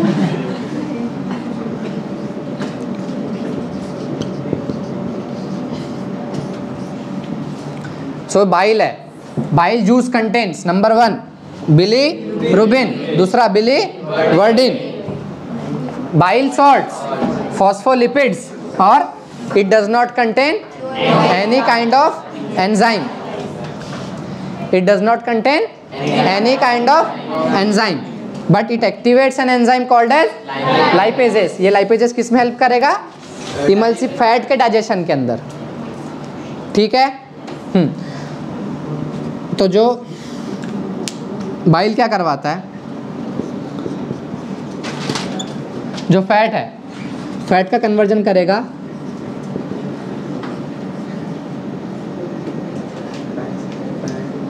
डाई ग्लेसराइड्स एंड मोनोग्लिसराइड कौन कौन कन्वर्जन करेगा? बाइल ये जो बिलीवर्डिन और बिलीरुबिन है। और इसके लिए कौन सा एंजाइम इनको हेल्प करेगा? लाइपेज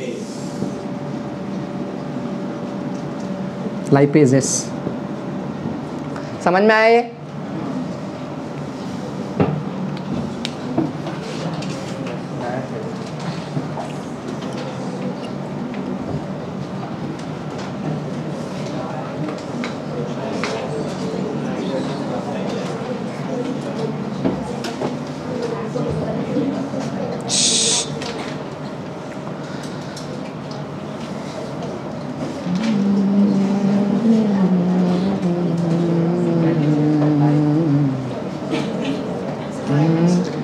रिएक्शंस नहीं। रिएक्शंस कहाँ पर हो रहे हैं? कौन से एंजाइम से हो रहे हैं?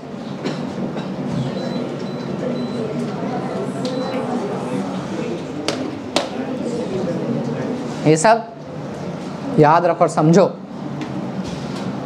ठीक है? और ये सारा प्रोसेस कैसे हो रहा है? अपन धीरे धीरे पढ़ रहे हैं, लेकिन ये साइमल्टेनियसली हो रहा है, एकदम स्पीड में रिएक्शंस हो रहे हैं ये। ठीक है? हम भले दस दिन लगा रहे हो लेकिन ये दो से तीन घंटे में पूरा प्रोसेस कंप्लीट होता है।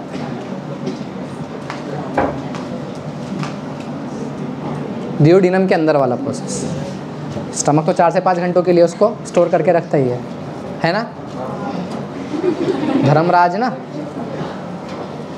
धर्मराज। ठीक है? तो डिओडिनम के अंदर फ़ूड जब गया ऐसे आया। चलो इधर ध्यान दो सबके सब। हम्म, इधर लिखेगा कोई नहीं। तो फ़ूड स्टमक से कहाँ गया? डिओडिनम में। डिओडिनम में कार्बो मतलब स्टमक के अंदर क्या हुआ कि प्रोटीन का पार्शियली हाइड्रोलाइसिस हुआ with the help of pepsin किसमें कन्वर्ट हुए? पेप्टोन्स पेप्टाइड्स एंड प्रोटियोजेस ये क्या है? पार्शियली हाइड्रोलाइसिस ऑफ़ प्रोटीन हुआ। ठीक है? और कार्बोहाइड्रेट का डाइजेशन हुआ। ठीक है? और फिर यहाँ से जो काइम बना स्टर्निंग मूवमेंट से क्या बनता है स्टमक में? काइम वो काइम कहाँ पा, पास ऑन हुआ? डिओडिनम में। यानी स्मॉल इंटेस्टाइन के फ़र्स्ट पार्ट में। ठीक है, वहाँ पे सिक्रीशन किस किस के होते हैं? सबसे पहला पेनक्रियाटिक जूस उसके बाद बाइल और उसका खुद का इंटेस्टाइनल जूस उसको क्या बोलते हैं? सक्कस इंटेरिकस समझ में आया? अब पेनक्रियाटिक जूस हमने देखा। पेनक्रियाटिक जूस के अंदर क्या होते हैं? Inactive enzyme trypsinogen chymotrypsinogen carboxypeptidase lipases nucleases तो इनएक्टिव क्या होते हैं? ट्रिप्सिनोजेन एंड कीमोट्रिप्सिनोजेन तो ट्रिप्सिनोजेन का कन्वर्जन ट्रिप्सिन में किसने किया? Enterokinase secreted by intestinal mucosa यानी इंटेस्टाइनल जूस का ये पार्ट है। समझ में आया? हाँ। फिर बाद में ट्रिप्सिन ने कीमोट्रिप्सिनोजेन को किसमें कन्वर्ट किया? फिर कीमोट्रिप्सिन में। तो फिर अब जब फ़ूड आया फ़ूड जैसे पास ऑन हो रहा था, वैसे ही सारा रिएक्शन कंप्लीट हुआ। जैसे ही फ़ूड आया तो ट्रिप्सिन कीमोट्रिप्सिन और कार्बोक्सी पेप्टाइडेज कार्बोक्सी पेप्टाइडेज ने जो पार्शियली हाइड्रोलाइसिस हाइड्रोलाइज्ड प्रोटीन्स थे, उनको किन में कन्वर्ट किया? डायपेप्टाइड में। और बाइल जो बाइल भी रिलीज़ हुआ था ना वहाँ पे तो बाइल के अंदर जो बिलीवर्डिन बिलीरुबिन बाइल सॉल्ट्स थे, इन्होंने क्या किया? फैट का डाइग्लिसराइड में कन्वर्जन किया। और जो इसके अंदर कोई एंजाइम एक भी नहीं था, ठीक है? बाइल जूस के अंदर it does not contain any kind of enzyme, but it activates an enzyme called as lipases, which helps this reaction. समझ में आया? यहाँ तक समझ में आया? तो अभी फ़ूड जब अभी तक के हमने देखा तो क्या क्या डाइजेस्ट हो चुका है? कार्बोहाइड्रेट किसमें कन्वर्ट हो चुके हैं? डायसेक्राइड में। प्रोटीन किसमें कन्वर्ट हो चुके हैं? डायपेप्टाइड में कन्वर्ट हो चुके हैं अभी। अभी कन्वर्ट हुए ना? हाँ डायपेप्टाइड में कन्वर्ट हो गए। बीच में क्या था? हाँ पार्शियली हाइड्रोलाइज प्रोटीन्स ऐसे बोलो। पार्शियली हाइड्रोलाइज्ड प्रोटीन्स वो वो कहाँ पर हुआ? स्टमक में। कहाँ पर हुआ? स्टमक में। और यहाँ पर डायपेप्टाइड में कन्वर्जन किसमें हुआ? डिओडिनम में। With the help of bilirubin biliverdin अरे, शर्म करो। प्रोटीन्स का पूछ रहा हूँ मैं। प्रो पार्शियली हाइड्रोलाइज प्रोटीन का कन्वर्जन डायपेप्टाइड में किसके है? हाँ trypsin chymotrypsin and carboxy peptidase बहुत मुश्किल है तुम लोगों का।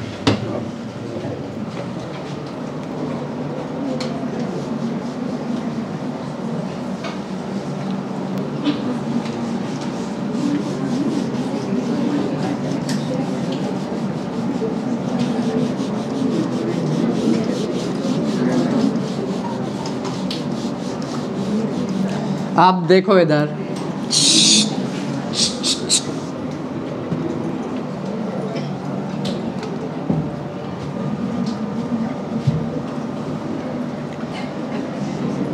माउथ में पीएच कितना था?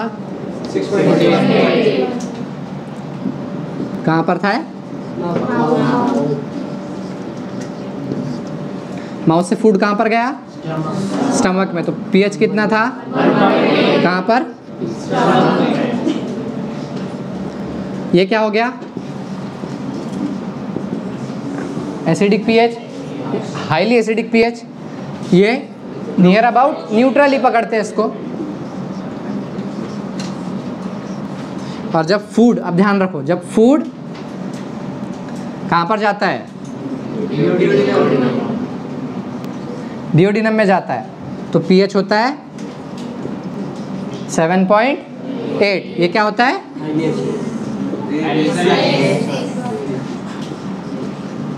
अल्कलाइन या फिर इसको क्या बोलते हैं?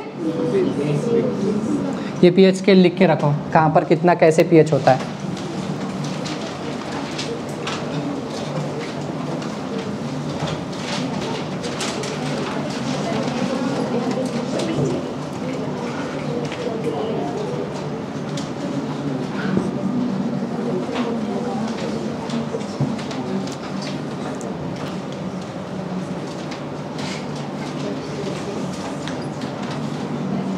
ब्लड का पीएच कितना होता है?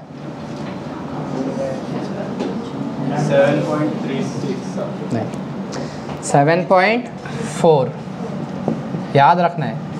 Seven point two to seven point four. अगर हायर क्लासेस में जाओगे तो ऐसे। लेकिन अभी फ़िलहाल सेवन पॉइंट फोर। क्या होता है? ब्लड का पीएच? आपको बताया 7.36 to 7.42 हाँ तो वही ना seven point two to seven point 7.36 to three six two seven point 42 वो एकदम हाईली प्रिसाइज जब हम एज अ मेडिकल प्रैक्टिशनर इस्तेमाल यूज़ करते हैं ना जब ओपीडी में बैठते हैं जब ब्लड रिपोर्ट्स देखते हैं तब ये होता है। ये पीएच का खेल होता है सब मतलब बफर एक्शन एक होता है। पढ़ोगे तुम लोग अभी इसमें भी। केमिस्ट्री में। जो रजिस्ट करता है पीएच के चेंज को अपने ब्लड के अंदर अगर ये ज़रा सा भी अगर नीचे गया एसिडिक पीएच हुआ हाँ तो सडन डेथ होती है। तो बॉडी कंटिन्यूसली फाइट करती है। मतलब एक रेंज के नीचे एसिडिक पीएच अगर कम हुआ तो इसीलिए अगर एसिडिक अगर हो जाता है, उसमें क्या मिलाएँगे अपन? बेस मिलाएँगे तो क्या हो जाएगा? क्या होता है? बेस हो जाएगा ना? उसका बेसिसिटी बढ़ेगी ना?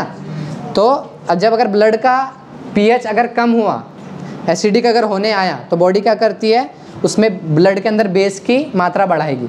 और सबसे बेस्ट बेस, बेसिक कंपोनेंट अपने बॉडी का है कैल्शियम। कैल्शियम कैल्शियम का रिजर्वायर क्या रहेगा? बोन्स। और एसिडिक कंडीशन कब आती है? जब हम काफ़ी ज़्यादा स्मोक करते हैं, या फिर काफ़ी ज़्यादा क्रोनिक लेवल पर अपन ड्रिंक करते हैं। और अपना जो डाइट होता है, डाइट काफ़ी ज़्यादा इम्बैलेंस होता है तो इसकी वजह से क्या होता है, ब्लड का पीएच ड्रॉप होता है। अब ब्लड का पीएच जैसे ही ड्रॉप होता है, कैल्शियम रिजर्वर, बोन से वो जो कैल्शियम होता है वो डिप्लीट होता है और कहाँ पे जाता है? ब्लड में जाता है। और इसीलिए जो बोन मास होता है, वो काफ़ी ज़्यादा डिक्रीज होता है। क्योंकि बॉडी हमेशा कंटिन्यूसली इसको इस रेंज में रखना चाहेगी पीएच को। और ये सब होता है बफर एक्शन और क्लोराइड शिफ्ट। छोड़ो, आगे बढ़ते हैं। वैसे भी जो बताता हूँ तो भूल जाता हूँ, ये कब याद रखोगे?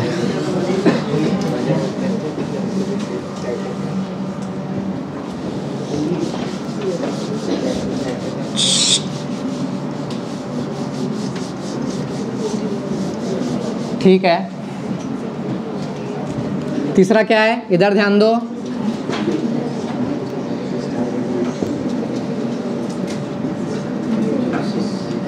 Intestinal juice. इसी को क्या बोलते हैं हम?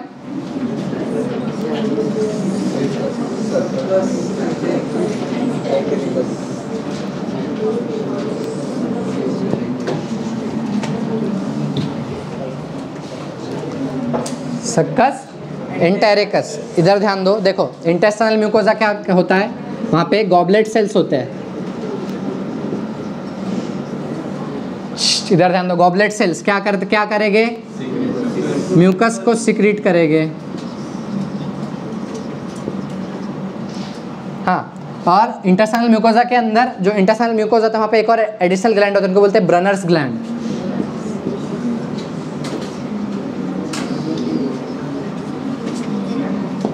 क्या? ब्रनर्स ग्लैंड ये इसके जो सिक्रीशन होते हैं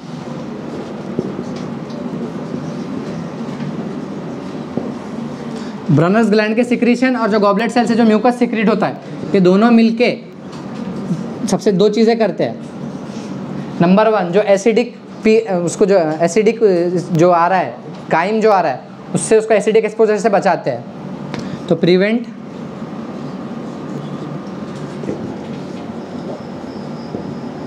intestinal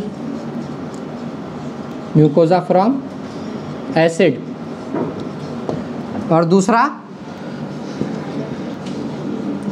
बेसिक पीएच रिक्वायर उसको प्रोवाइड करते हैं which is seven point eight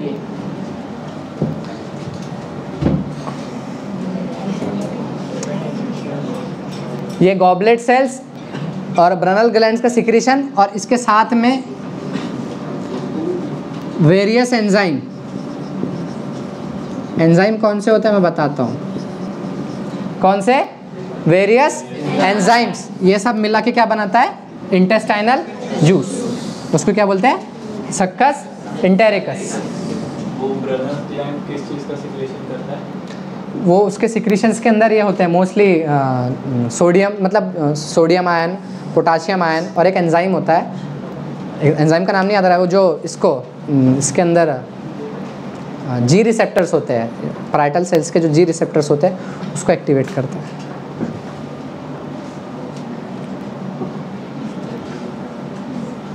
so Brunner's gland का जो secretion along with the goblet cells के सिक्रीशन क्या prevent the intestinal mucosa from acidic acidic exposure and provide the basic pH basic alkaline pH जो कि कितना होता है? 7.8 0.8 सब सारे हर जगह कॉमन है। 1.8 6.8 और 7.8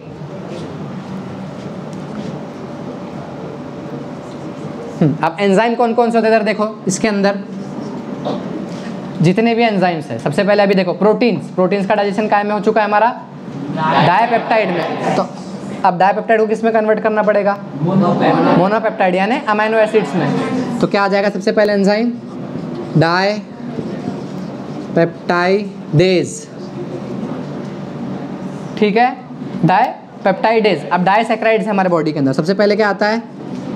ग्लूको ये अमाइलोज तो आ जाएगा अमाइलेज को ब्रेक डाउन करने के लिए। अमाइलेज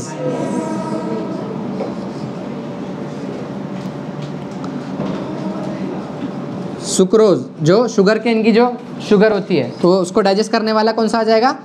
सुक्रेज सुक्रेज यानी सुक्रोज को डाइजेस्ट करने वाला एंजाइम अमाइलेज सुक्रेज इसके बाद, और कौन से डायसेक्राइड कौन से है? लैक्टोज डायसेक्राइड है, मैंने बताया मिल्क के अंदर। तो लैक्टोज को डाइजेस्ट करने वाला कौन सा आ जाएगा? लैक्टेज न्यूक्लियोटाइड्स को न्यूक्लियोसाइड्स को ब्रेक करने के लिए क्या आ जाएगा? न्यूक्लियोसाइडेज जो न्यूक्लियस था, इसके अंदर। हाँ। मैंने बताया नहीं। जो न्यूक्लिक एसिड्स है इसका कन्वर्जन न्यूक्लियोटाइड्स में हुआ, होता है। उसके बाद न्यूक्लियोसाइड्स में। ये इसका, इस, कौन सा एंजाइम था इसके लिए? न्यूक्लियस यहाँ पर भी? हाँ कहाँ, किस, कौन सिक्रेट किया था न्यूक्लियस न्यूक्लियस किसने सिक्रेट किया था? पेनक्रियाटिक जूस ने। न्यूक्लिक एसिड्स मतलब? न्यूक्लियस के एसिड्स। क्या होता है न्यूक्लियस में? DNA and RNA, cell.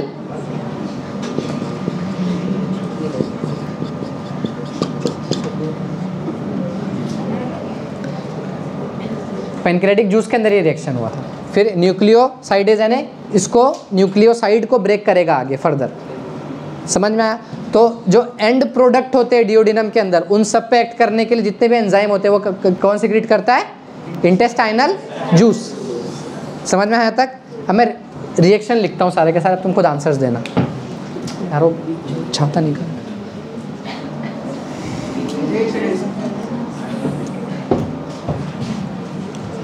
चलो, हो गया अभी, बस यही सब था, जो कि नहीं समझ में आता है, बाकी सब।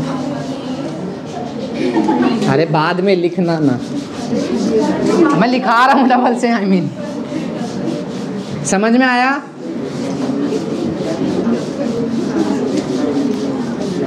सारे एंजाइम्स के नाम समझ में आ गए। कौन कहाँ पर कैसे सिक्रीट करता है क्या करता है?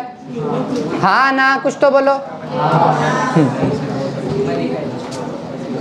अब इधर देखो ये यहाँ पर पूरा डाइजेस्ट जितना भी हमारा डाइजेशन का प्रोसेस है ना सब कंक्लूड करते हैं अभी। ठीक है? बायो माइक्रोमोलिक्यूल सबसे पहले? हाँ उसमें पहला कौन सा? कौन सा? कार्बोहाइड्रेट। तो इधर। नहीं, ये साफ़ नहीं होता जल्दी।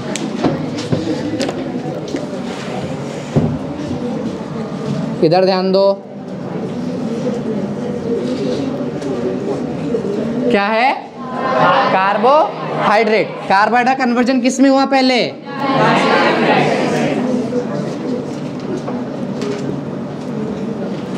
With the help of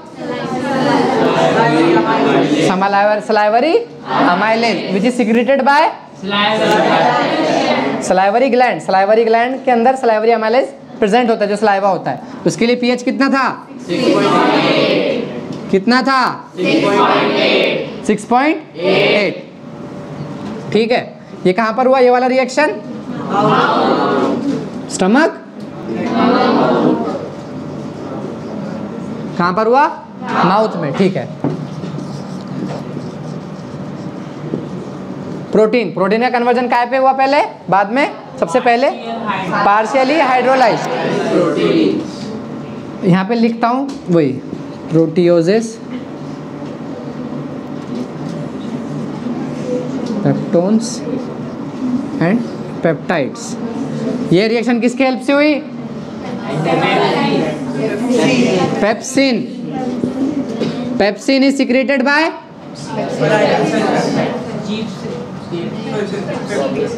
peptic cells क्या होता है? क्या सिक्रेट करते हैं?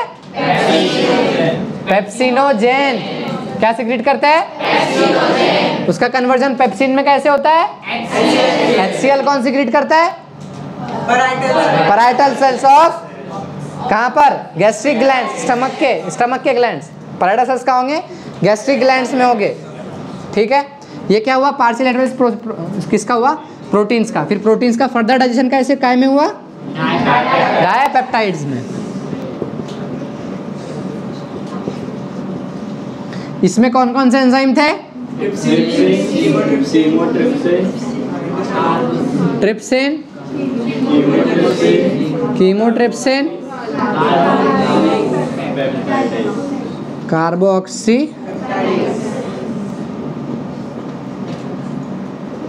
carboxy peptidase ये रिएक्शन कहाँ पर हुई? स्टमक में ये ये वाला? डिओडिनम में.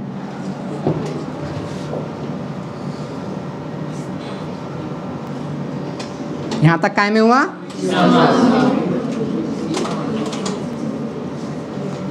और यहाँ से?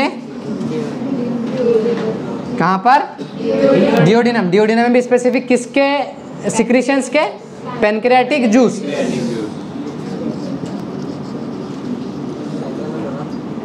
और उसमें भी स्पेसिफिक बोला जाए तो क्या?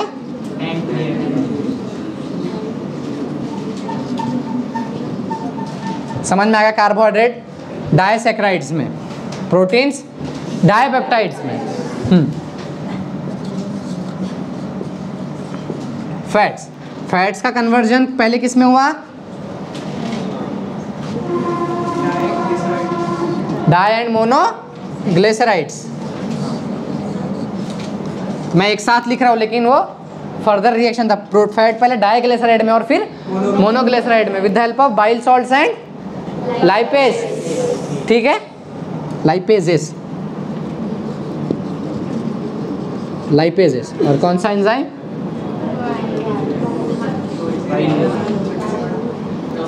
bile juice bilirubin and biliverdin तो किसमें कन्वर्ट हुआ? डाई एंड मोनो डाई का फर्दर हुआ इसी के थ्रू मैं एक साथ लिख रहा हूँ। Di and mono. ये रिएक्शन कहाँ पर हुई? कहाँ पर? डिओडिनम में हुई। तो ठीक है इधर देखो।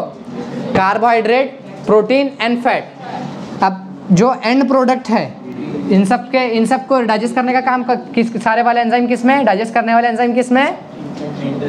इंटेस्टाइनल जूस में सल्कस इंटेरिकस में। ठीक है? स्पेसिफिक एंजाइम्स होते हैं। डायसेक्राइड को मोनोसेक्राइड में कन्वर्ट करेगा। डायसेक्राइडेज ये हमारी स्कीमेटिक रिएक्शन हो गई हम स्पेसिफिक ग्लूको स्पेसिफिक कार्बोहाइड्रेट के लिए स्पेसिफिक एंजाइम रहेंगे। समझ में आया? सुक्रोज के लिए सुक्रेज रहेगा। समझ में आया? लैक्टोज के लिए लैक्टेज रहेगा। लैक्टो ये क्या है? सुक्रोज लैक्टोज माल्टोज क्या डायसेक्राइड्स है। ठीक है डायसेक्राइड डायसेक्राइड इसका कन्वर्जन आगे होगा वो लिखते हो मैं आगे। इसका क्या इसमें कन्वर्जन हो जाएगा? हम्म, ये वाली रिएक्शन जो है ये कहाँ हो रही है? डिओडिनम में हो रही है लेकिन विद द हेल्प ऑफ़ किसके? इंटेस्टाइनल जूस के अंदर। हाँ जो एंजाइम हो कहाँ पर है बेसिकली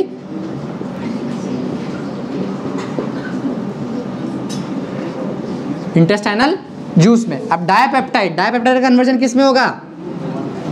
मोनोपेप्टाइड यानी amino acids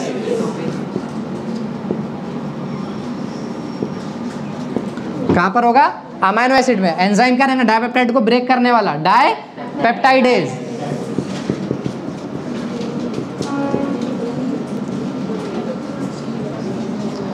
hmm. Fat diglyceride and monoglycerides इसका फर्दर जो कन्वर्जन होता है, किससे? लाइपेजेस के थ्रू ही होता है।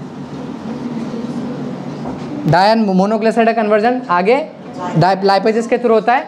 इसका कन्वर्जन होता है fatty acids plus glycerol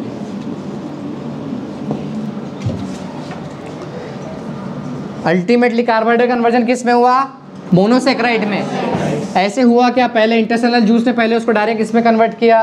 नहीं, पूरा पूरा एकदम स्कीमेटिक तरीके में गया वो। पहले माउथ फिर माउथ से इंटेस्टाइनल जूस माउथ के अंदर कितना परसेंट हो गया था ये? डाइजेस्ट थर्टी परसेंट फिर प्रोटीन प्रोटीन स्टमक स्टमक में डाइजेस्ट हुए। कितना? पार्सली हाइड्रोलाइसिस हुआ। फिर वहाँ से वो कहाँ गया? जब काइम, जब डिओडिनम में गया तो जो पेनक्रेटिक जूस के अंदर जो एंजाइम थे, पहले वो इनएक्टिव थे, फिर एक्टिव होने के बाद ट्रिप्सिन काइमोट्रिप्सिन और कार्बोक्सीपेप्टाइडेज ने इसको डायपेप्टाइड में कन्वर्ट किया। और फिर सल्कस इंटेरिकस के अंदर जो डायपेप्टाइडेज थे, उसने अमाइनो एसिड में कन्वर्ट किया। फैट फैट का conversion di and monoglyceride with the help of bile juice and lipases initial में हुआ और उसके बाद फर्दर लाइपेजेस ने इसको फैटी एसिड्स प्लस ग्लाइसरॉल में कन्वर्ट किया। This is your complete digestion carbohydrate का फर्दर रिएक्शंस में लिख तीन रिएक्शंस लिखने हैं। इधर लिखता हूँ तो।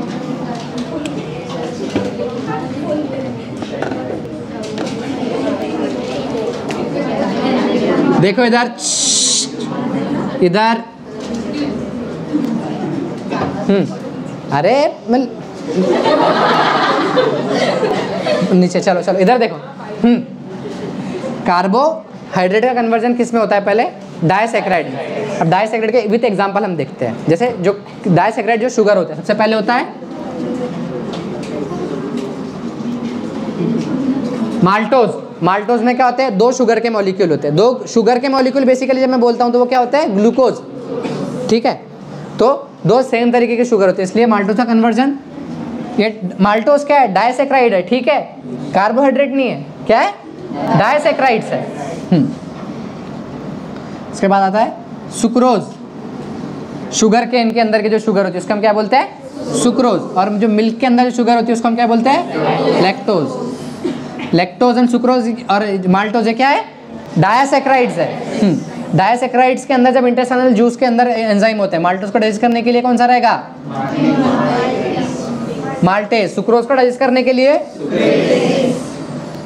सुक्रेज और लैक्टोज को डाइजेस्ट करने के लिए? लैक्टेज माल्टोज का कन्वर्जन अब डायरेक्ट मो, जो मोनो मोनोसेक्राइड्स है दो मॉलिक्यूल दोनों के दोनों अलग हो गए ना तो दो मॉलिक्यूल मिलेंगे। Glucose plus glucose. सेम होते हैं। सुक्रोज। Glucose plus fructose. और लैक्टोज, ग्लूकोज प्लस गैलेक्टोज।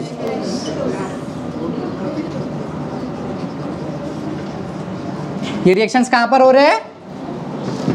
कहाँ पर हो रहे हैं? डिओडिनम में ही हो रहा है। डाइजेशन का कंप्लीट प्रोसेस कहाँ होता है? डिओडिनम में ही होता है।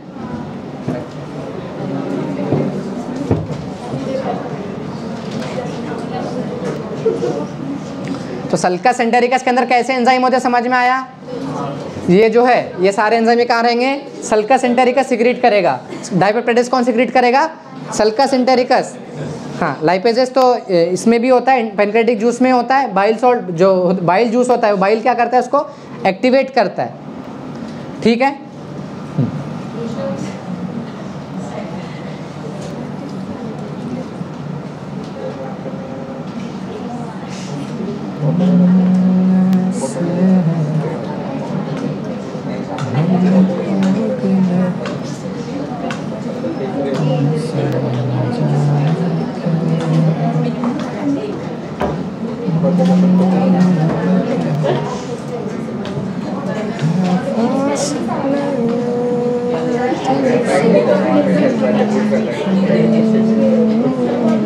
क्या नहीं समझ में आ रहा है? तो बुक पे है ना? मैं बोला ना, आगे पीछे से ले लो। एक बुक एनसीईआरटी रखो कम से कम। एक एक एनसीईआरटी एक टेबल पर रहनी चाहिए।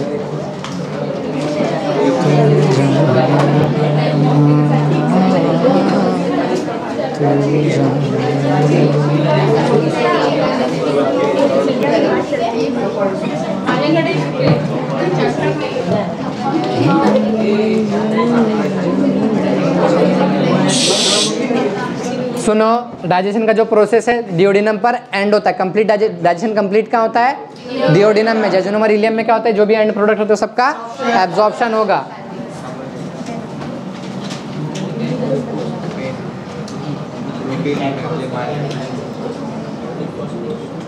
Glucose plus fructose glucose glucose plus galactose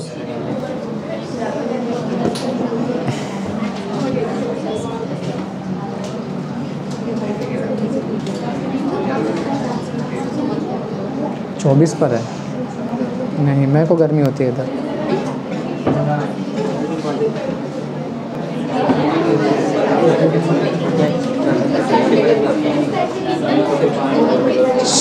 आवाज़ नहीं। चलो यार, अभी चैप्टर कंप्लीट करना है। आधे घंटे का भी चैप्टर बचा नहीं है अभी। अगर तुम सही से आंसर्स दो तो।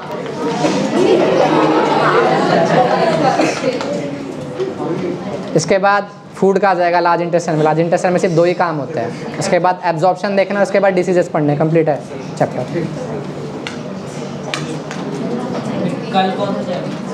हाँ वही। कल प्लांट किंगडम शुरू करते हैं। बहुत हो गया। ह्यूमन फिजियोलॉजी वैसे भी पढ़ के नहीं आते हो तुम लोग। हाँ? नहीं नहीं। टेस्ट अभी मैं रखूँगा बराबर मेरे हिसाब से।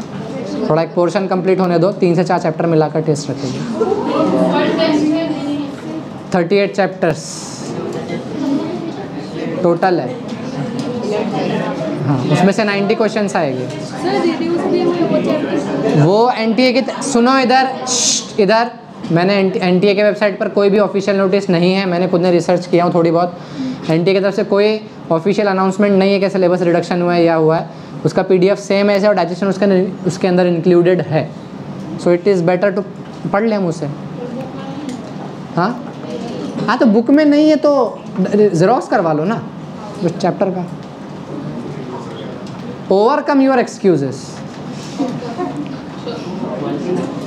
you should always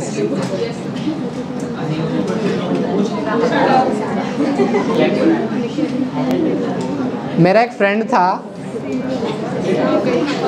उसने, हमारे इंटरनल एग्ज़ाम्स होते हैं ना, अभी रिसेंटली हमारे एग्ज़ाम्स होते हैं तो उसने नहीं दिया। और वाइवा के अंदर उसको पूछे क्यों नहीं दिया? तो उसने बोला सर टाइफाइड हो गया था। तो वो हमारे जो सर है प्रोफेसर उन्होंने काफ़ी अच्छी बात कही कि ओवरकम योर एक्सक्यूजेस तो आईवी लगाकर भी तो एग्ज़ाम दे, दे सकता था। मैं भी एक डॉक्टर हूँ। इंट्रावेनस फ्लूइड सलाइन इंजेक्शन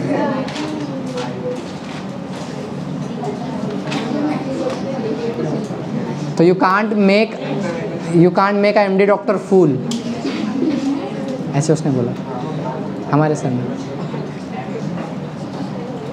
ठीक है समझा यहाँ तक सबको?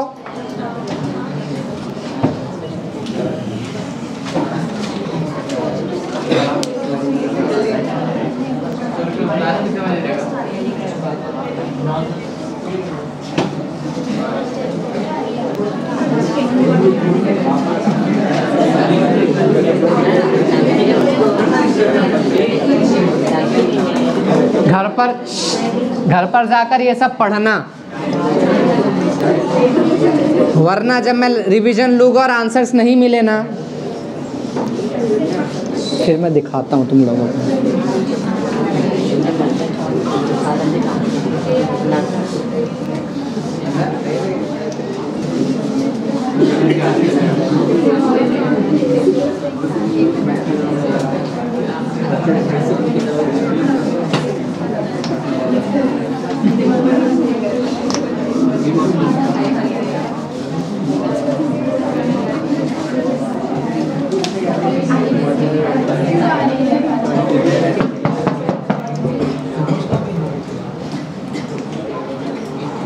ठीक है इधर ध्यान दो।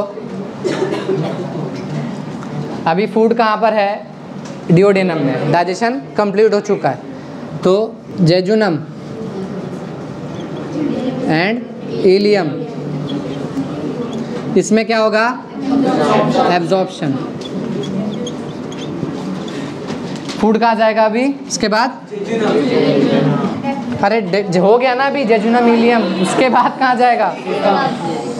क्या है? सीकम हम्म। तो इट एंटर्स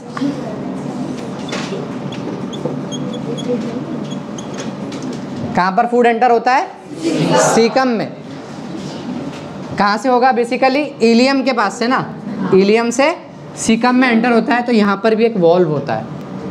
इलियम और सीकम इलियो सीकल वॉल्व अब तुम देखो वॉल्व क्यों प्रेजेंट होता है, मैं बताता हूँ। अभी तक के जितना भी हमारा मूवमेंट हुआ, वो सब किसके थ्रू हुआ? पेरिस्टालसिस मूवमेंट के थ्रू हुआ। समझ में आया? और ग्रेविटी नेचर है ना? नीचे गिरती है चीज़ें। तो ग्रेविटी के थ्रू ही पूरा वो हुआ।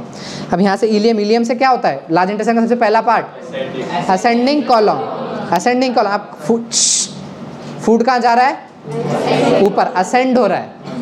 तो ऊपर जा रहा है तो नीचे ना गिरे। बैक फ्लो ना उसका। इसलिए वहाँ पे एक वॉल्व होता है। अगर सिकम में फ़ूड एंटर हुआ तो वापस बैक फ्लो ना, नहीं होगा उसका। ठीक है? वॉल्व किस लिए होता है? टू प्रिवेंट बैक फ्लो किस लिए होता है? टू प्रिवेंट बैक फ्लो समझ में आ गया? तो food enters from enters into caecum from ileum through ileocaecal valve which prevents the back flow समझ में आया?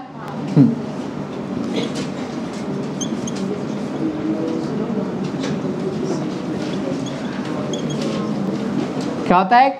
इलियोसिकल वॉल्व होता है, और which prevent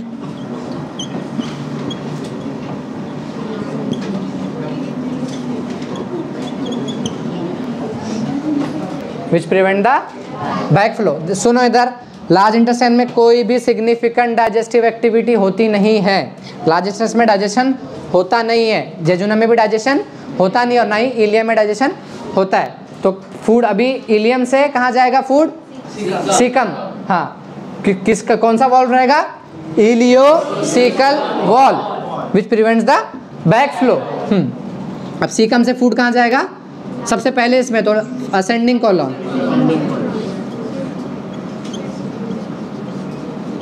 और फिर उसके बाद वो आगे फर्दर पास ऑन होता रहेगा. लार्ज इंटेस्टाइन के अंदर कोई भी सिग्निफिकेंट डाइजेस्टिव एक्टिविटी नहीं होती है. ठीक है? तो सबसे पहला पॉइंट लार्ज इंटेस्टाइन के अंदर नो सिग्निफिकेंट डाइजेस्टिव एक्टिविटी। क्या? लार्ज इंटेस्टाइन के अंदर कोई भी सिग्निफिकेंट डाइजेस्टिव एक्टिविटी नहीं होती है दो चीज़ें होती है। Number one absorption of water and minerals क्या होता है? Absorption of water and mineral होता है। और उसके बाद में होता है हाँ,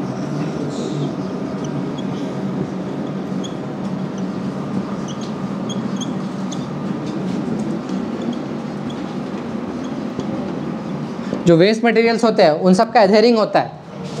ठीक है? वो सब इकट्ठे इसमें किए जाते हैं और इसके साथ में जो म्यूकस इसके अंदर मिक्सअप होता है फॉर स्मूथ पैसेज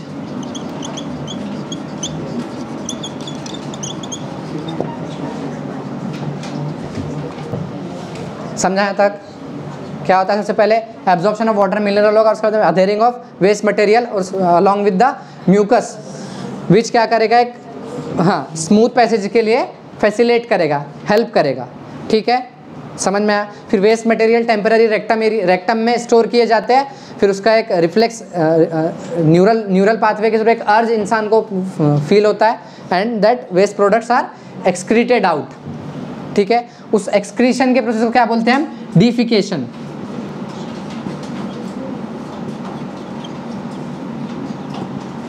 फीसेस को बाहर निकालना एग्जिट करना डीफिकेशन फीसेस यानी वेस्ट प्रोडक्ट्स या end products of digested end product of digestion नहीं end product of digested food जो फ़ूड के जो एंड में जो बच रहा है ठीक है? सो so, क्या बोल रहे हैं हम? डीफिकेशन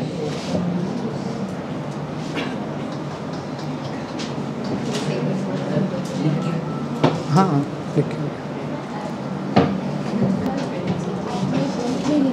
हाँ मैं वो टेबल बनाऊँगा ना तब minerals and drugs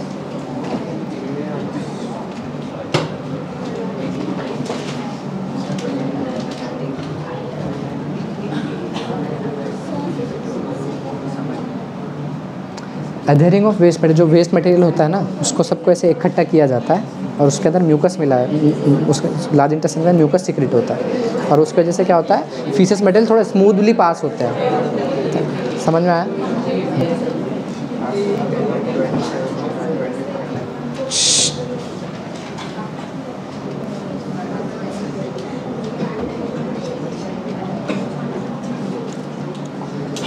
समझा यहाँ तक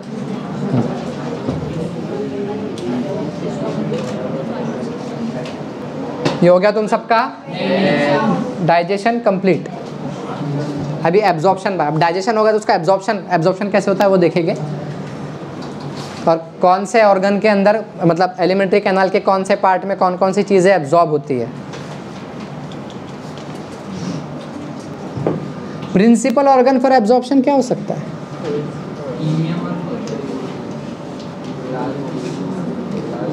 The organ which is designed for absorption just absorb करना है। अरे मैं डाइजेशन डाइजेस्टिव जो उसके एंड प्रोडक्शन की बात कर रहा हूँ। डाइजेशन कंप्लीट कहाँ हो रहा है? डिओडिनम जेजुनोमरीलियम क्या कर रहा है? तो प्रिंसिपल ऑर्गन कौन हो जाएगा? Small intestine small intestine is the principal organ for absorption अब पूरे जेजुनमर इलियम के अंदर कंप्लीट एब्जॉर्प्शन ही होता है। वो हायर क्लासेस में पढ़ोगे, उसमें कौन कौन से एंजाइम्स आते हैं कौन कौन से रिएक्शंस होते हैं? ठीक है? ये सब चीज़ें मतलब रटने जैसी नहीं है, ये मतलब कुछ समझने जैसी भी नहीं है, तुम सबको पहले से ही आता है। जो मेन था रिएक्शन वाला पार्ट था, जो हमने कंप्लीट किया है।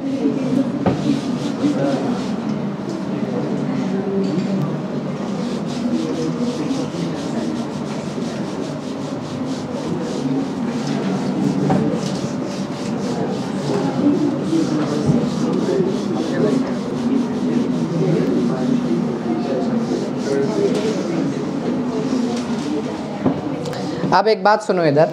पूरा डाइजेशन का प्रोसेस हमने देख लिया कौन कौन से पार्ट में चीज़ें कैसे डाइजेस्ट होती है। लेकिन ये जो सब होता है ना, हमारे पूरे न्यूरल कंट्रोल के मतलब पूरे नर्वस सिस्टम ब्रेन के कंट्रोल में रहता है सारा। तो जिसका जो रेगुलेशन है, वो कैसा रहा? जैसे इमली को देख के मुँह में पानी आना, या फ़ूड को जैसे हम इसमें खा मतलब मुँह में रखते हैं और जब चबाने लगते हैं, वैसे ऑटोमेटिकली सलाइवा सिक्रीट होता है। हाँ और जब पेट में जब खाना जाता है तो ऑटोमेटिकली एसिड सिक्रेशन होता है। तो ये सारी चीज़ें स्टिमुलेट कौन करता है? हमारा नर्वस सिस्टम स्टिमुलेट करता है। तो जो हमारा digestive system it is under the control of nervous system जो कि लोकल जो वहाँ पर जो लोकल एरिया जैसे स्टमक के अंदर जो रिसेप्टर्स हो गए, उसके थ्रू होता है और कम्प्लीटली सी के थ्रू भी होता है। ठीक है? ये तो मतलब ऑब्वियसली तुम सबको पता ही होगा ना? नहीं पता है सेंट्रल नर्वस सिस्टम हाँ हम सारे रिफ्लेक्स सेक्शन नहीं पता है ना कैसे होता है। कंडक्शन ऑफ़ नर्व इम्पल्स नहीं पता है कि नर्व इम्पल्स कैसे जाता है क्या जाता है। तो वेस्ट ऑफ़ टाइम है उतना सब एक्सप्लेन करने का भी। जब टाइम न्यूरो पड़ेगा तब मैं बताऊँगा अच्छे से। ठीक है? हम्म, तो इतना ध्यान रखो कि डाइजेस्टिव सिस्टम जो है it is under the control of nervous system सारे के सारे सिस्टम अल्टीमेटली नर्वस सिस्टम के कंट्रोल में ही होता है। इसलिए तो बोलते हैं सेंट्रल प्रोसेसिंग यूनिट के सारी चीज़ों को प्रोसेस करता है। ब्रेन क्या हमारा? सीपीयू है। यहाँ तक किसी को कोई डिफ़िकल्टी कुछ नहीं समझ में आया हो, सारे रिएक्शंस कौन से पार्ट में डाइजेशन कैसे होता है प्रोटीन का डाइजेशन कौन सा एंजाइम कौन सिक्रीट करता है, कैसे एक्टिवेट होता है, कौन सा पीएच होता है, ये मैंने हर चीज़ एक्सप्लेन किया हूँ। और काफ़ी स्लोली हम इन सब चीज़ों तक आगे तक बढ़े। किसी को कोई भी अभी भी डिफ़िकल्टी है, पूछो। और अभी समझ में आया है तो ऐसे नहीं कि किताब बंद करके रख रख के सीधा घर पे चले जाना, घर पर जाकर अच्छे से पढ़ना। ठीक है, अगले टेस्ट में पैसे नहीं चाहिए किसी को? किसको नहीं चाहिए? चाहिए ठीक है, तू मत लेना। क्या नाम था उसका? पूजा। तू थी ना? ठीक है। अब फ़ूड डाइजेस्ट हो गया। अब फ़ूड एब्जॉर्ब कैसे होता है? एब्जॉर्ब कैसे होता है? तो?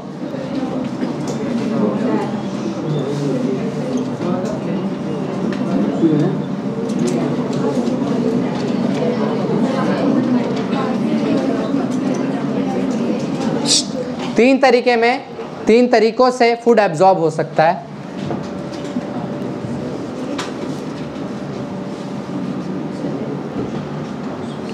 एक होता है पैसिव ट्रांसपोर्ट।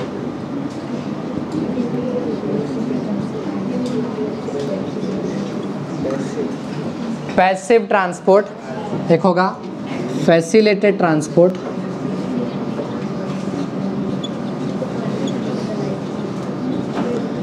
अरे एक होता है।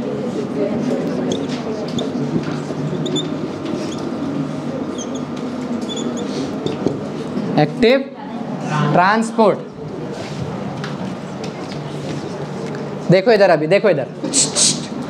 पैसिव ट्रांसपोर्ट मतलब चीज़ें, उनके कॉन्सेंट्रेशन ग्रेडियंट हायर कॉन्सेंट्रेशन से लोअर कॉन्सेंट्रेशन की तरफ़ वो होता है। इसलिए उनको क्या बोलते हैं?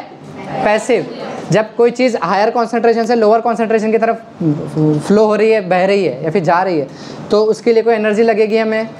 नहीं। इसीलिए घर के अंदर जो पानी की जो टंकी होती है, कहाँ रखते हैं? टॉप पे। और टॉप से फिर हम उसको नीचे रखते हैं मतलब जो पाइप्स होते हैं पाइप्स के थ्रू पूरा घर के अंदर सिस्टम होता है। तो वो हायर कॉन्सेंट्रेशन से मतलब टाकी के अंदर पानी का कॉन्सेंट्रेशन सबसे ज़्यादा है। तुम यहाँ से टैप ओपन करो तो टैप के अंदर कॉन्सेंट्रेशन क्या है? हाँ। लो है मतलब ऑलमोस्ट नियर टू ज़ीरो है। तो पानी उस हायर कॉन्सेंट्रेशन से लोअर कॉन्सेंट्रेशन तक कर ऑटोमेटिक जाता है। इसमें कोई एनर्जी जा रही है कोई इलेक्ट्रिसिटी जा रही है नहीं ना। तो passive transport it depends on या सीधे सीधे डायरेक्ट लिखते हैं कॉन्सेंट्रेशन ग्रेडियंट नहीं। हायर कॉन्सेंट्रेशन से लोअर कॉन्सेंट्रेशन की तरफ़। ठीक है? याद रखना है। हायर कॉन्सेंट्रेशन से टू लोअर कॉन्सेंट्रेशन इसके अंदर एनर्जी जाएगी? तो नो एनर्जी का क्या है अपने बॉडी के अंदर? एनर्जी कंपोनेंट क्या है? एटीपी तो नो एटीपी यूजेज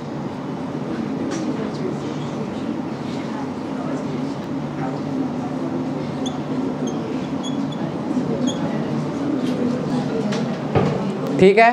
हाँ। अभी देखो। अब हर चीज़ हर चीज़ ऐसे पैसिवली ट्रांसपोर्ट मतलब ऑलमोस्ट सारी चीज़ें अगर पैसिवली ट्रांसपोर्ट होने लगे तो जो हार्मफुल सब्सटेंसेस है, वो भी सीधे सीधे कॉन्सेंट्रेशन ग्रेडियंट के अनुसार एब्जॉर्ब हो जाएँगे। तो इसीलिए क्या होता है सेल जो मेम्ब्रेन होता है, वहाँ पे प्रोटीन मॉलिक्यूल होता है, जो कि मतलब स्पेसिफिक मॉलिक्यूल को अलाउ करते हैं। जाने के लिए कुछ मॉलिक्यूल को अलाउ नहीं करते हैं। तो फैसिलेशन फैसिलिटी प्रोवाइड की जा रही है। कि कौन से एंटर हो सकते हैं और कौन से नहीं। तो इसको ऐसे जहाँ पर अब जहाँ पर प्रोटीन मॉलिक्यूल्स ऐसे as a facilitated diffusion provide करते हैं, ठीक है, जिसके अंदर कैरियर प्रोटीन का यूज़ किया जाता है। मतलब कैसे होता है? ये समझ लो, ये एक सेल है, यहाँ पे एक प्रोटीन मॉलिक्यूल है, ठीक है। इसमें आता है सिम्बायंट वो सब वो होते हैं सिम्बा वो दो मॉलिक्यूल अगर ओपनिंग हुई तो यहाँ पर ये समझ लो ये सेल नंबर वन है सेल नंबर टू है सिंपलेस्ट फॉर्म तो अब ये कोई एक मॉलिक्यूल है समझो एक्स तो अगर ये इसको परमिएबल कर रहा है इसको अगर परमिशन दे रहा है इसके रिसेप्टर से इसके मतलब मैच हो रहा है इसको मतलब इसको अलाउ कर रहा है तो क्या करेगा प्रोटीन मॉलिक्यूल एक्स को उठाएगा और उसको ऐसे ये टर्न होगा। टर्न होगा तो ये जो एक्स मॉलिक्यूल है इसको इधर दूसरे सेल के अंदर ड्रॉप करेगा। एक सेल से हाँ तो इसे क्या होता है फैसिलेटेड डिफ्यूजन इसमें बहुत सारे प्रकार होते हैं। यहाँ पर अगर दोनों मॉलिक्यूल तो इसके अंदर से पास ऑन हो सकता है। ऐसे भी होता है। तो सिंपल अपन ऐसे अभी अभी याद रखो, जब ट्रांसपोर्टिंग प्लांट पढ़ेंगे तब और मतलब इसी पूरा डिटेल में पढ़ेंगे। तो फैसिलेटेड डिफ्यूजन मतलब फैसिलेटेड ट्रांसपोर्ट समझ में आ गया? प्रोटीन मॉलिक्यूल के थ्रू ट्रांसपोर्ट होता है। ठीक है? तो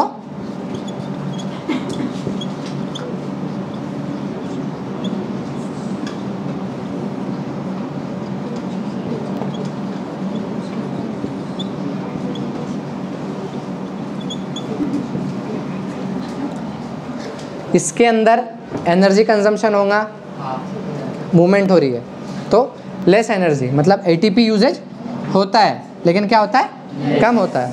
अब एक्टिव ट्रांसपोर्ट एक्टिव यानी ये अगेंस्ट द कंसंट्रेशन ग्रेडियंट हम यूज़ करते हैं। जहाँ पे किसी चीज़ की ज़रूरत है, वहाँ से उसको लेके जाना मतलब जो कि कॉन्सेंट्रेशन उसका शायद ज़्यादा हो या हायर हो that does not depend active transport के लिए concentration gradient does not depend वो अगेंस्ट कॉन्सेंट्रेशन ग्रेडियंट होता है। ठीक है? तो ये एट- इसमें एनर्जी बहुत ज़्यादा? हाँ यूज़ होती है। तो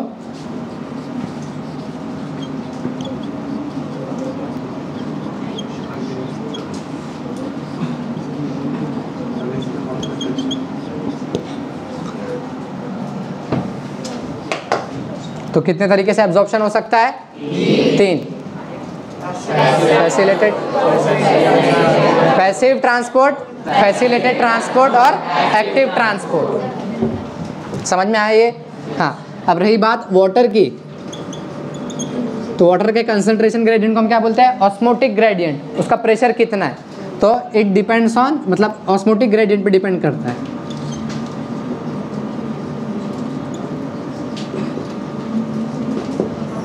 किस वाटर का ट्रांसपोर्ट किस चीज़ पे डिपेंड करता है? ऑस्मोटिक ग्रेडियंट पे। जो वाटर का कंसंट्रेशन कितना है, उसको हम स्पेशल एक टर्म दिया ऑस्मोटिक ग्रेडियंट हाँ अब इधर तुम लोगों के लिए एक, तुम लोग पढ़ के नहीं आते हो ना, इसलिए। हाँ कल जब भी लेक्चर रहेगा, सबसे पहले सबको बुक के अंदर दिया हुआ है। पैसिव ट्रांसपोर्ट से कौन कौन से मॉलिक्यूल एब्जॉर्ब होते हैं? फैसिलिटेड ट्रांसपोर्ट से कौन कौन से मॉलिक्यूल ऑब्जॉर्ब होते हैं? और एक्टिव ट्रांसपोर्ट से कौन कौन से मॉलिक्यूल एब्जॉर्ब होते हैं, ये ढूंढ कर लेकर आना। बुक में दिया हुआ है पढ़ कर आओ। एग्जाम्पल्स क्या? तो फ़ोन तो है। गाने वगैरह देखने के लिए सब फ़ोन यूज़ करते हो? जिसके पास फ़ोन नहीं है, मम्मी पापा के पास तो हो गई। और ऐसे तो है नहीं कि मम्मी पापा नहीं देंगे, पापा पाँच मिनट के लिए फ़ोन दो, काम करना है कुछ।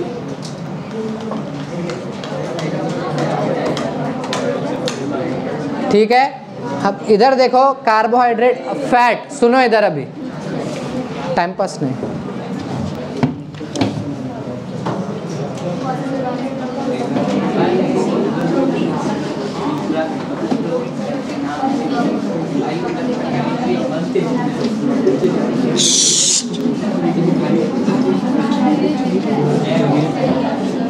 अरे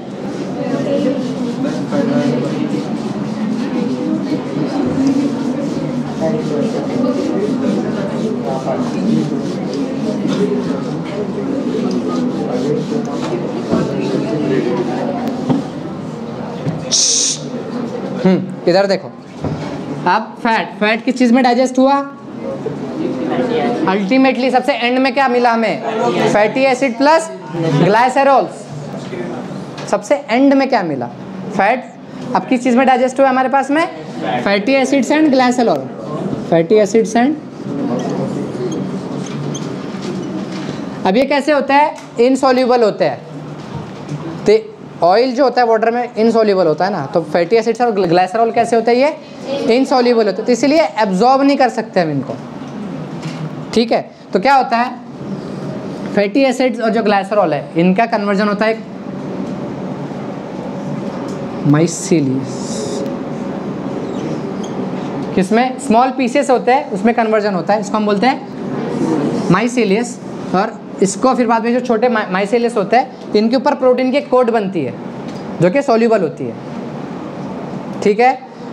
फैटी एसिड्स और ग्लाइसरॉल को फर्दर ब्रेक डाउन किया जाता है किसमें? माइसेलियस में और इसके ऊपर एक प्रोटीन की कोट आती है।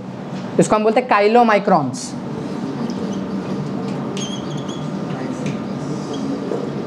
और फिर ये एब्जॉर्ब होता है। ब्रेकडाउन कौन करता है? ये एंजाइम्स होते हैं। स्पेसिफिक एंजाइम्स क्योंकि जो फैटी एसिड्स बहुत टाइप के फैटी एसिड्स होते हैं ग्लाइसरॉल ये भी बहुत टाइप के होते हैं तो स्पेसिफिक एंजाइम्स होते हैं।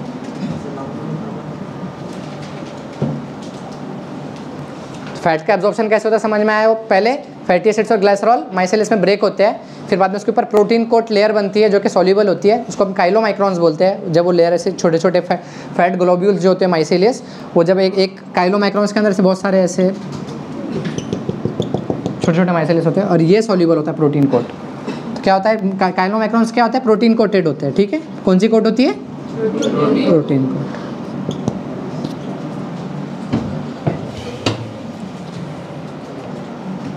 ये हो डाइजेशन एंड एब्जॉर्प्शन अब स्पेसिफिक लोकेशंस में क्या क्या एब्जॉर्ब होता है? उसके बाद डिसीजेस उसके बाद रिवीजन टाइम कर? बहुत टाइम हाँ।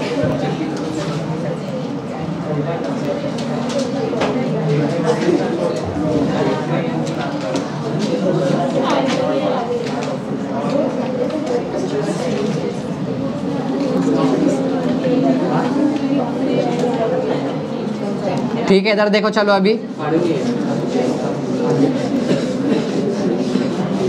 हाँ इधर देखो, चलो। अब आंसर्स दो। ठीक है? फ़ूड कहाँ पर है? माउथ में। अब माउथ में, अब यहाँ पे माउथ के अंदर कौन कौन सी चीज़ें एब्जॉर्ब होती है? ठीक है? माउथ में डाइजेशन किसका होता है सबसे पहले? कार्बोहाइड्रेट सम कार्बोहाइड्रेट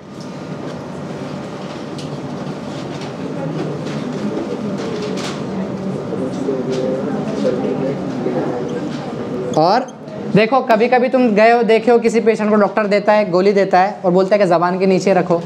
मोस्टली जो हार्ट अटैक के जो पेशेंट्स होते हैं, उनको दिए जाते हैं। वो क्या होता है ऑक्सीजन के मतलब सॉल्यूबल ऑक्सीजन होता है वो। तो यहाँ से सीधे डायरेक्ट ब्लड स्ट्रीम में मिलता है। तो इंस्टेंट इंस्टेंट रिज़ल्ट मिलता है हमें। और जो, उसके जो सिम्टम्स होते हैं अनजाना वो डिक्रीज़ होता है। तो कभी भी देखना कि जो, जिसको से भी अगर हार्ट अटैक का जो पेशेंट होता है, उसको स्टेबल करने के बाद में ज़बान के नीचे रखने की टैबलेट बोलते हैं, जब उसको घबराहट अगर होने लगी तो। तो बेसिकली मतलब क्या है कि जो ड्रग्स कुछ ड्रग्स एब्जॉर्ब हमें डायरेक्ट सलाइवा के थ्रू ब्लड स्ट्रीम में मिल सकते हैं। ठीक है? तो some carbohydrate and certain drugs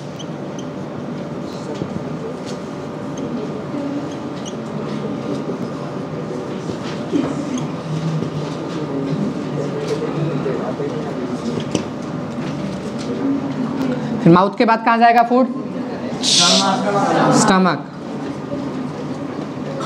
stomach में तीन ही चीज़ों का एब्जॉर्प्शन होता है। सबसे पहला आता है वाटर सबसे इम्पोर्टेंट याद रखना। किसी ने किसी किसी इंसान ने देशी दारू पीते हुए किसी को देखा है क्या? देखा है क्या लाइक किसी ने देखा है क्या? क्या होता है? नहीं मतलब हाँ? अरे नहीं, वो कैसे होता है वो नहीं पूछ रहा हूँ। पर्सन को क्या होता है?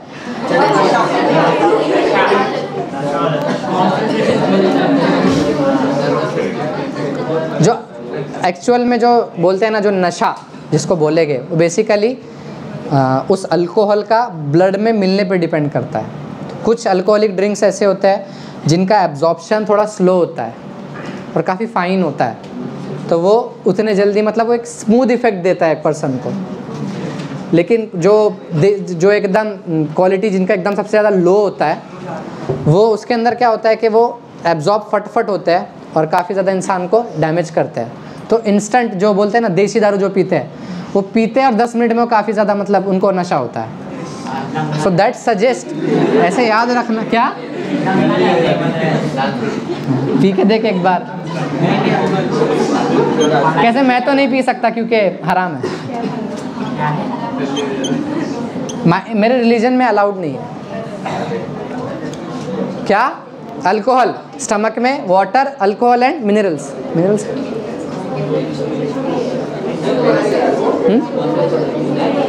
sugar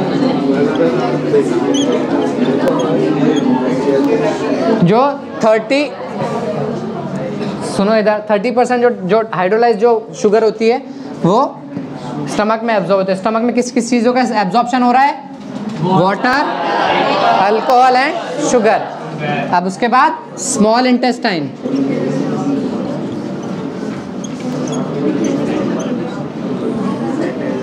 स्मॉल इंटेस्टाइन क्या है? प्रिंसिपल ऑर्गन फॉर एब्जॉर्प्शन जितने भी एंड प्रोडक्ट है, वो सब के चाहे वो अमाइनो एसिड्स हो, चाहे वो शुगर प्लस बेस हो चाहे वो डायपेप्टाइड्स हो, जितने भी एंड प्रोडक्ट ऑफ़ डाइजेशन हो, किसमें? स्मॉल इंटेस्टाइन के थ्रू ही एब्जॉर्ब होते, चाहे मिनरल्स हो। तो ये क्या स्मॉल इंटेस्टाइन क्या है? प्रिंसिपल ऑर्गन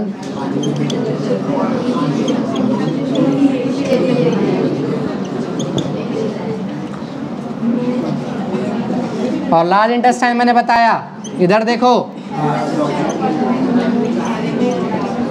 किस चीज़ का एब्जॉर्प्शन होता है? वाटर मिनरल्स एंड ड्रग्स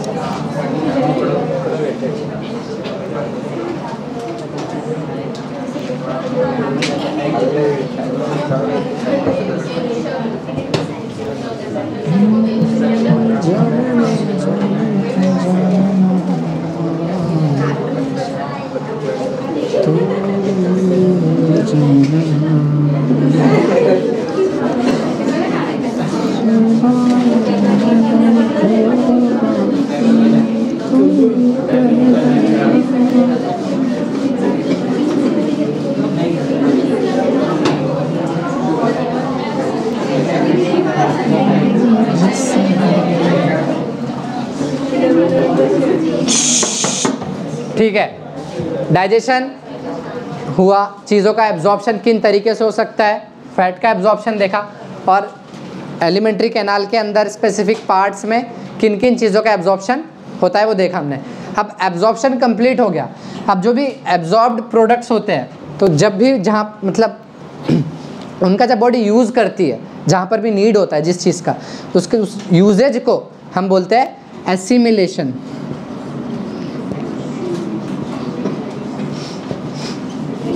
ठीक है? क्या होता है? Uses of digested uses of end product of digestion जो प्रोडक्ट्स मिलते हैं हमें तो इसको हम क्या बोलते हैं? एसिमिलेशन यूजेज ही होता है। और डिफिकेशन क्या होता है? Removal of waste products of digestion ठीक है? समझा है? एसिमिलेशन किसको बोलते हैं? समझा?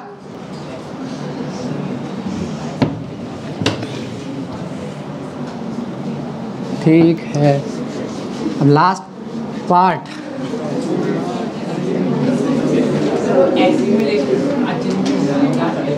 अरे जो हमारे जो डाइजेस्टेड प्रोडक्ट्स है जैसे जो हमें मिल रहा है मोनोसेक्राइड्स डायप अमाइनो एसिड्स इन सबको जब बॉडी यूज़ करती है ट्रांसपोर्ट होता है जहाँ जहाँ जहाँ नीड है वहाँ जाता है तो जब उसको यूज़ करते हैं उसको हम बोलते हैं assimilation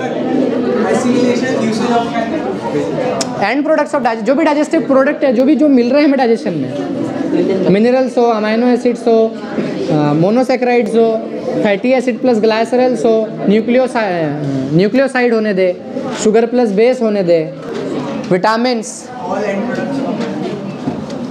उनका जब बॉडी यूज़ करती है किसी भी का, काम में चाहे वो एडीपी सिंथेसिस हो चाहे फिर वो इसके अंदर कोagulation ऑफ़ ब्लड हो ब्लड प्रेशर को बढ़ाना हो ब्लड प्रेशर को कम करना हो इन सब चीज़ों के अंदर जो डाइजेस्टिव फ़ूड का जो हम ये होता है या फिर मसल बिल्डिंग हो, जब तेरा मसल मास बढ़ता है तो बेसिकली क्या है? एसिमिलेशन है यूज़ कर रहे हैं ना? ठीक है? हाँ अभी है लास्ट पार्ट काफ़ी बच्चे खुश नज़र आएँगे। है ना? डिसीजेस क्या है? डिसीजेस कौन कौन से दिए है? Jaundice vomiting diarrhoea constipation diarrhoea कुछ नहीं है। ठीक है ठीक है, चलो चलो। कुछ नहीं है। सबसे पहले जॉन्डिस क्या होता है जॉन्डिस में? जॉन्डिस यानी पीलिया। क्या होता है इसके अंदर? अरे, बोलो ना स्किन कैसी होती है? येलो हो जाती है। मैंने बताया कौन से पिगमेंट बिलीरुबिनेंट बिलीरुबिनेंट बिलीवर्डिन कौन सिक्रीट करता है? बाइल। बाइल मतलब? बाइल की जो गॉल ब्लैडर है, वो किसका पार्ट है? लीवर का। तो क्या इसमें अफेक्ट क्या होगा? लीवर गेट अफेक्टेड समझा? और क्या होता है? Accumulation of bilirubin and biliverdin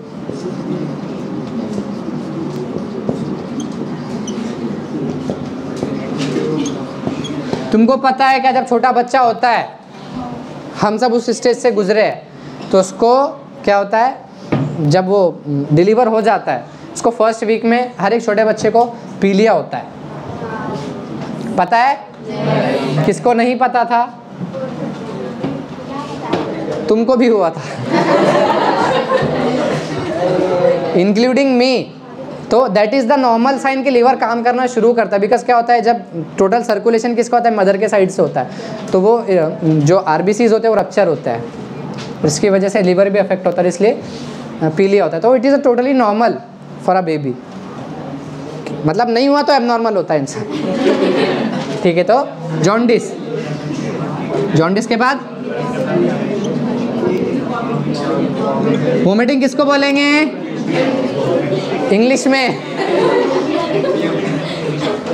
ejection या फिर इजेक्शन ऑफ़ स्टमक कंटेंट मैंने बताया था, कौन सा, कौन सी मूवमेंट होती है?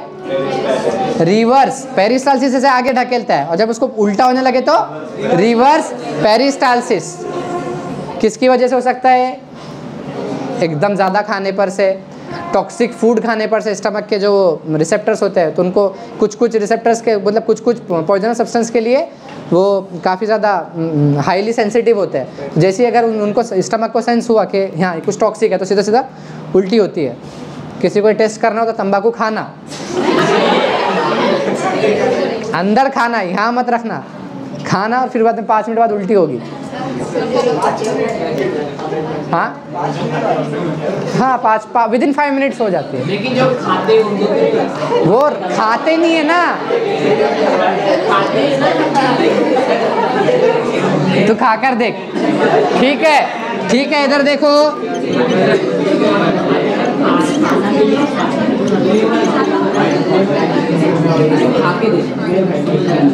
इजेक्शन ऑफ़ स्टमक कंटेंट हाँ जो वोमिटिंग होती, सुनो इधर। कभी कभी हम एकदम बहुत ज़्यादा गंदी स्मेल आती है, तब भी वोमिटिंग होती है। कुछ एकदम गंदा खा लिए, तब भी वोमिटिंग होती है। इंसान ने कुछ एकदम हॉरिबल साइट देख लिया। यूजुअली होता है जब तुम पहली बार किसी डेड बॉडी को देखते हो या फिर एक्सीडेंट्स वगैरह को देखते हो, तब भी वोमिटिंग होती है या फिर कुछ खा लिया। तो ये सजेस्ट क्या करता है कि there is a vomiting centre जो कि कंट्रोल करता है। ब्रेन में एक वोमिटिंग सेंटर होता है जो sight horrible sight horrible taste horrible smell या फिर आ, बहुत ज़्यादा तुम क्या बोलेंगे चक्कर जब घूम जाते हो बहुत ज़्यादा चक्कर लगाते हो किसी बड़े झूले के अंदर तुम ऊपर नीचे घूम कर अगर आते हो घर घर घर घूमते हो तब भी। तो ये ये सारी जो वोमिटिंग जो रिफ्लेक्स होता है वो ब्रेन के अंदर मेड्यूला पार्ट के अंदर होता है, इसको हम वोमिट सेंटर बोलते हैं, जो वोमिटिंग को कंट्रोल करता है। ठीक है? तो वोमिटिंग सेंटर कहाँ होता है? Medulla medulla oblongata hind brain का पार्ट होता है।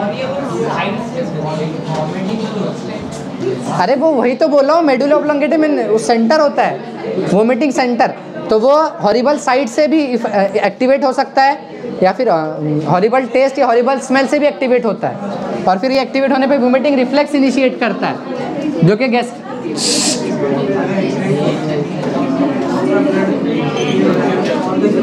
ठीक है, इधर देखो।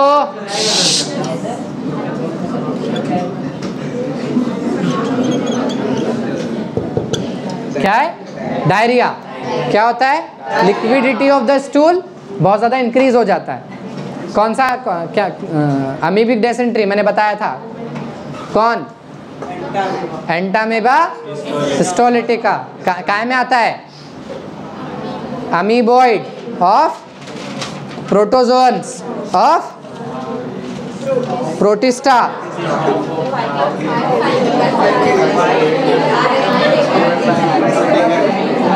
ठीक है, क्या है? डायरिया। तो इसके अंदर लिक्विडिटी।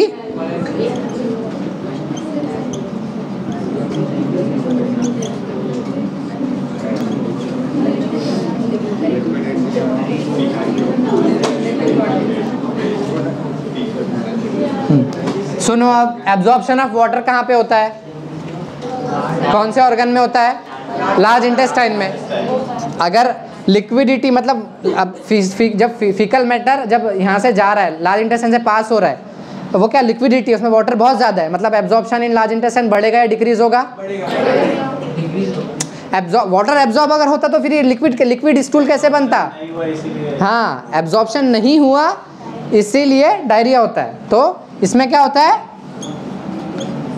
एब्जॉर्प्शन ऑफ़ वाटर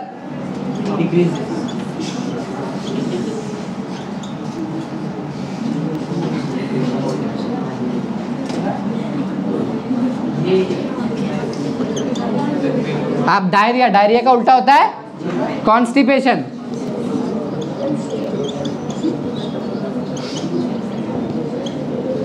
इसमें क्या होता है? हार्ड स्टूल फॉर्म होता है, जो पास ही नहीं होता है।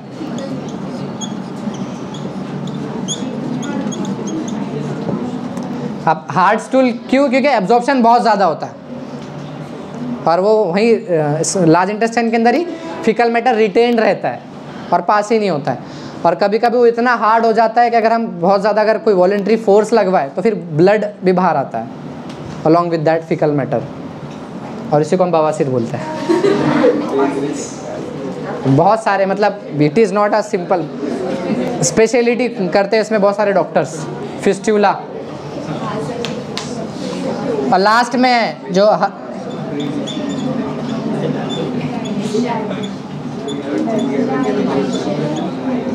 बेसिकली एसिडिटी जिसको हम बोलते हैं, जिसका प्रॉपर फ़ूड डाइजेस्ट नहीं होता है।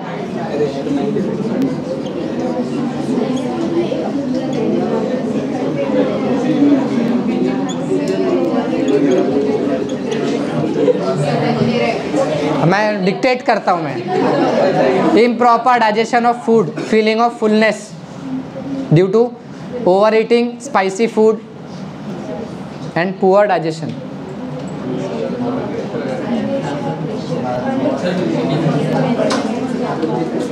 improper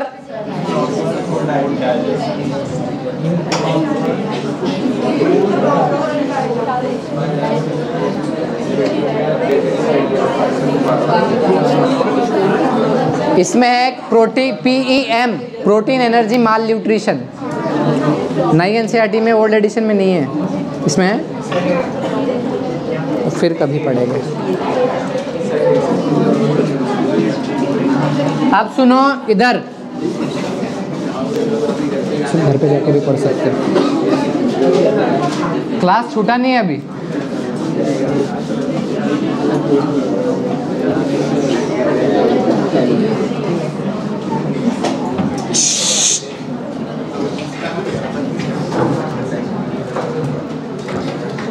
डाइजेशन चैप्टर एनसीईआरटी से कंप्लीट हुआ। इसमें कुछ एडिशनल पॉइंट्स मैं बताता हूँ।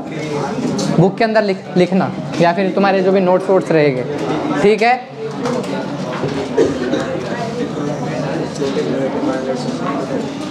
कौन सा वॉल्व होता है जो इधर आंसर्स भी दो और मैं बताते जाता हूँ? देखो ओपनिंग ऑफ़ साइलेंस चलो, इधर देखो। Opening of oesophagus into stomach is guarded by gastroesophageal sphincter और opening of stomach into duodenum is guarded by pyloric sphincter देखो अब गैस्ट्रो इसोफेजियल स्पिंक्चर जो होता है ना फिजियोलॉजिकल स्पिंक्चर होता है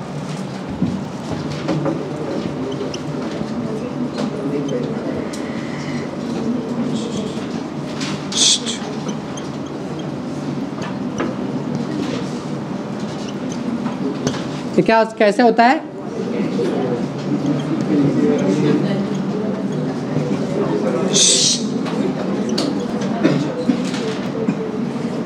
हम्म देखो इधर।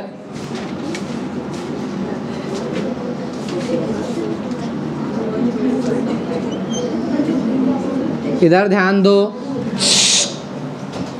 गैस्ट्रो इसोफिजियल स्पिंक्चर जो होता है फिजियोलॉजिकल मतलब वहाँ पर कोई एक्चुअल में स्ट्रक्चर प्रेजेंट नहीं है।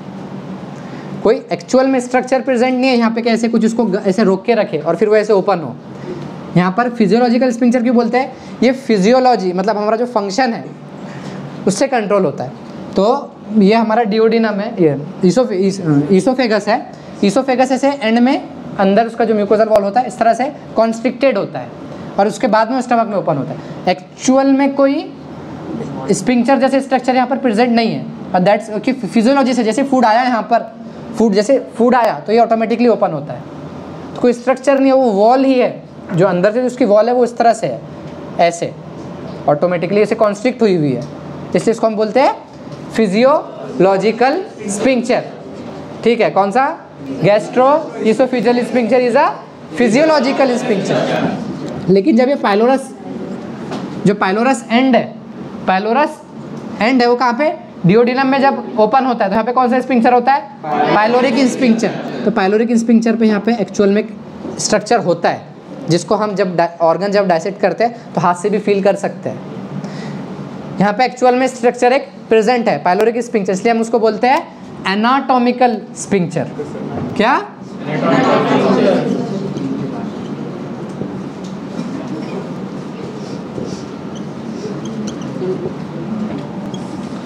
कौन सा? पाइलोरिक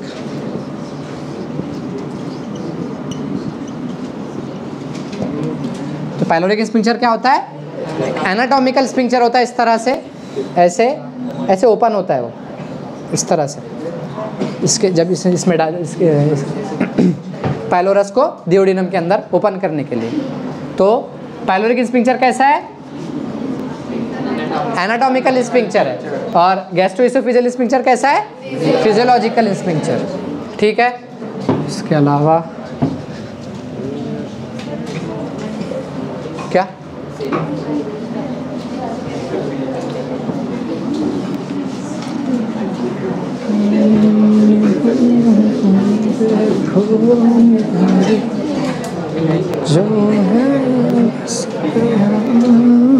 है, देखो इधर। समझ लो कि ये किसी पर्सन का एब्डोमेन है। पेट है तो यहाँ पे क्या रहेगा? स्टमक यहाँ पे कैसे आएगा एक? लीवर आएगा।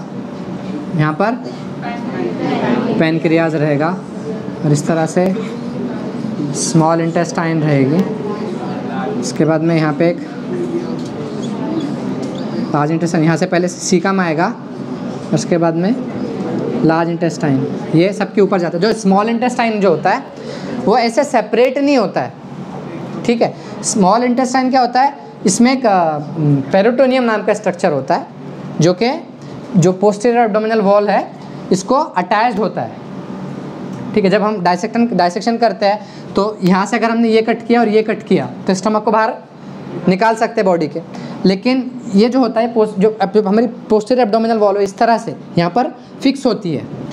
एक लाइन में जाता है। क्या है? एक ऑब्लिक लाइन के थ्रू एक फिक्स होता है। पेरिटोनियम पेरिटोनियम के थ्रू एक ऑब्लिक लाइन पर फिक्स होता है। तो हमें जब इसका स्पेसिमेन जब निकालना होता है बॉडी से बाहर डाइसेशन के टाइम पे तो ये एक ऑब्लिक लाइन को कट करना पड़ता है। इस ऑब्लिक लाइन को बोलते हैं रूट ऑफ़ मेजेंट्री रूट यानी जड़। एंट्रॉन एंट्रॉन का मतलब होता है स्मॉल इंटेस्टाइन क्या? हाँ स्मॉल इंटेस्टाइन एंट्रॉन का मतलब तो रूट ऑफ़ मेजेंट्री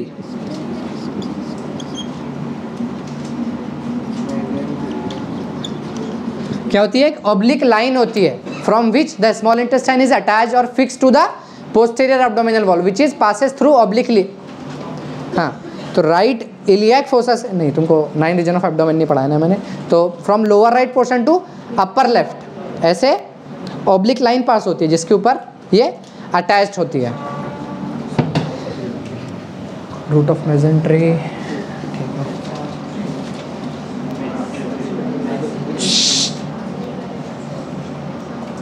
हाँ। इधर ध्यान दो। इस रूट ऑफ़ मेजेंट्री समझा? हम्म। Blood supply blood supply stomach पर एक क्वेश्चन आया हुआ है, लेकिन वो काफ़ी पुराना है। और ब्लड सप्लाई स्टमक समझ पाओगे क्या नहीं? देखो, मैं स्पीड में बताता हूँ, अगर समझ में आया तो बोलो तो आगे बढ़ते देखो, एक होता है एब्डोमिनल आयोटा जो हार्ट से नीचे पूरा एब्डोमेन में जाता है, उससे एक ब्रांच निकलती है, उसको हम बोलते हैं सिलियक ट्रंक सिलियक ट्रंक के तीन ब्रांचेस निकलते हैं। एक जाता है पीछे से होते हुए। स्टमक के नीचे से यहाँ पर आता है। तो उसको हम बोलते हैं स्प्लिनिक आर्टरी जो कि स्प्लिन यहाँ पर स्टमक के ऊपर साइड में प्रेजेंट होता है, उसको सप्लाई करता है स्प्लिनिक आर्टरी ये होता है राइट गैस्ट्रिक आर्टरी और एक होता है कॉमन हिपैटिक आर्टरी अब इसके दो ब्रांचेस फर्दर निकलते हैं, जो लेस इस पे जाता है। तो ये राइट गैस्ट्रिक है तो ये क्या हो जाएगी? लेफ़्ट गैस्ट्रिक आर्टरी और ये डिओडिनम के पीछे से जाता है। तो डिओडिनम है ना तो गैस्ट्रो डिओडिनल आर्टरी किसका? कॉमन हिपैटिक आर्टरी के दो ब्रांचेस निकलते हैं। लेफ़्ट गैस्ट्रिक आर्टरी और गैस्ट्रो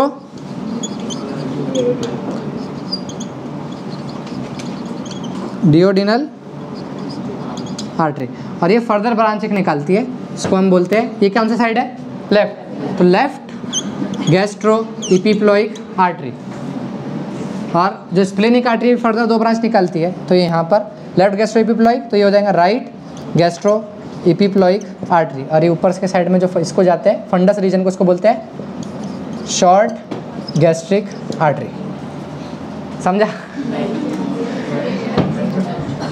नहीं समझा? ठीक है, इतना ध्यान में रखो। स्टमक का जो पोर्शन होता है ना दो कर्वेचर होते हैं। एक होता है छोटा curvature lesser curvature greater curvature. क्या? एक लेसर कर्वेचर एक ग्रेटर कर्वेचर। लेसर कर्वेचर पर क्या जाता है? किस साइड में रहेगा? राइट साइड में रहेगा ना? इमेजिन करो ना इस तरह से। तो छोटा कर्वेचर है राइट साइड में और ग्रेटर कर्वेचर पूरा बड़ा से, से, से इस तरह से जाता है तो लेफ़्ट साइड में। ठीक है? अब ध्यान रखो ऐसे ये सब कैंसिल करते हैं हम। तो लेसर कर्वेचर पर सप्लाई करता है left and right gastric artery इधर चुपचाप। कौन सा? Left and right gastric artery कहाँ पर? लेसर कर्वेचर पे। और ग्रेटर कर्वेचर पे सप्लाई करता है left and right gastro epi epiploic artery समझ में आया? तो लेसर कर्वेचर पर left and right gastric artery और ग्रेटर कर्वेचर पर left and right gastro epiploic artery ठीक है? अब एक और बात.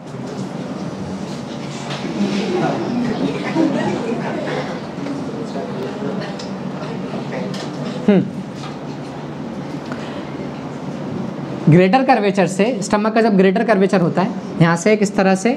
फैट की लेयर। मतलब मेरे इस ग्रेटर कर्वेचर से एक, उसको अटैच होती है ग्रेटर कर्वेचर को, और उसे पूरा जो एब्डोमेन होता है, उसको गार्ड करता है। फैट की एक लेयर होती है जो पूरे इससे निकलती है कहाँ से? ग्रेटर कर्वेचर से, और अपने पूरे एब्डोमेन को गार्ड करता है। इस इस गार्ड मतलब इस पर्दे के पीछे क्या है? इंटेस्टाइन है।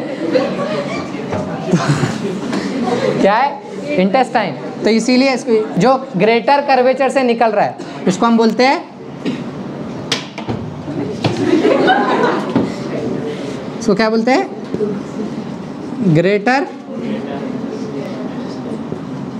ओमेंटम और इसका दूसरा नाम है गार्ड कर रहा है ना एप्रॉन ऑफ़ एब्डोमेन क्या बोलते हैं?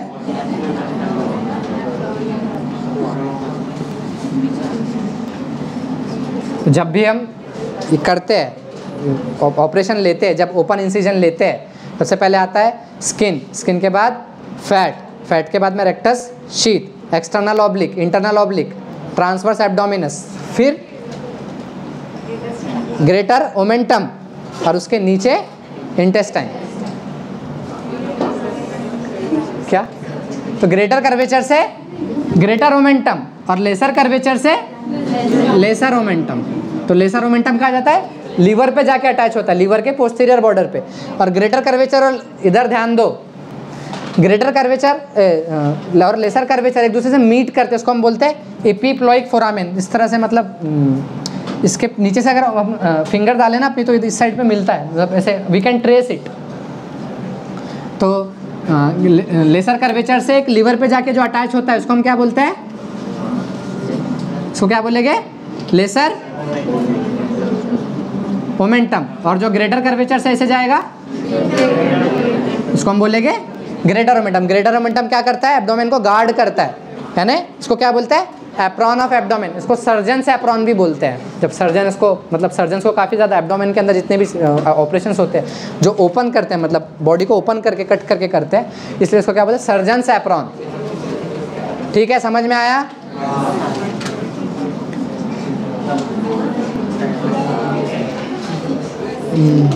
एक वीडियो दिखाना था मेरे को, लेकिन कैसे? क्या? नहीं देखते हैं। ठीक है ये समझा? हम्म, इसके अलावा। क्या? क्वेश्चन क्या आया था वो तो आपने बताया वो ब्लड सप्लाई स्टमक पर ही था। वो डायग्राम दी गई थी सीधे सीधे इसलिए मैं डायग्राम तुमको बता रहा था। पुराना क्वेश्चन है। बता देता हूँ। आवाज़।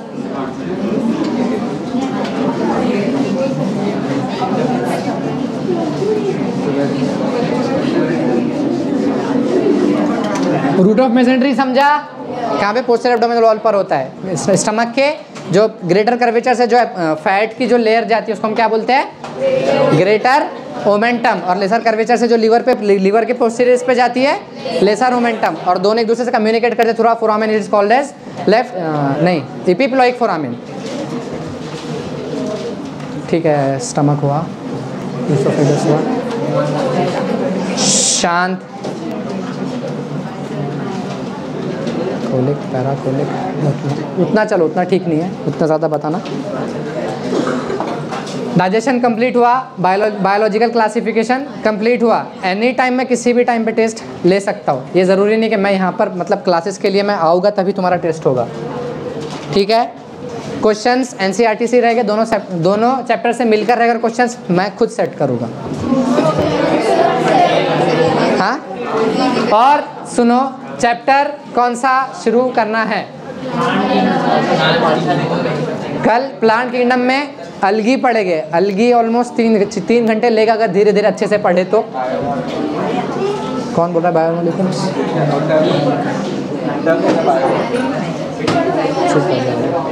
ठीक है। दो चैप्टर्स कंप्लीट हुए। तुम सब्जेक्ट से धीरे धीरे फेमिलियर हो रहे हो। इसके बाद हार्डली एक से दो एक, से दो चैप्टर इस स्पीड से जाएगी इसके बाद स्पीड बढ़ेगी। ठीक है? जाओ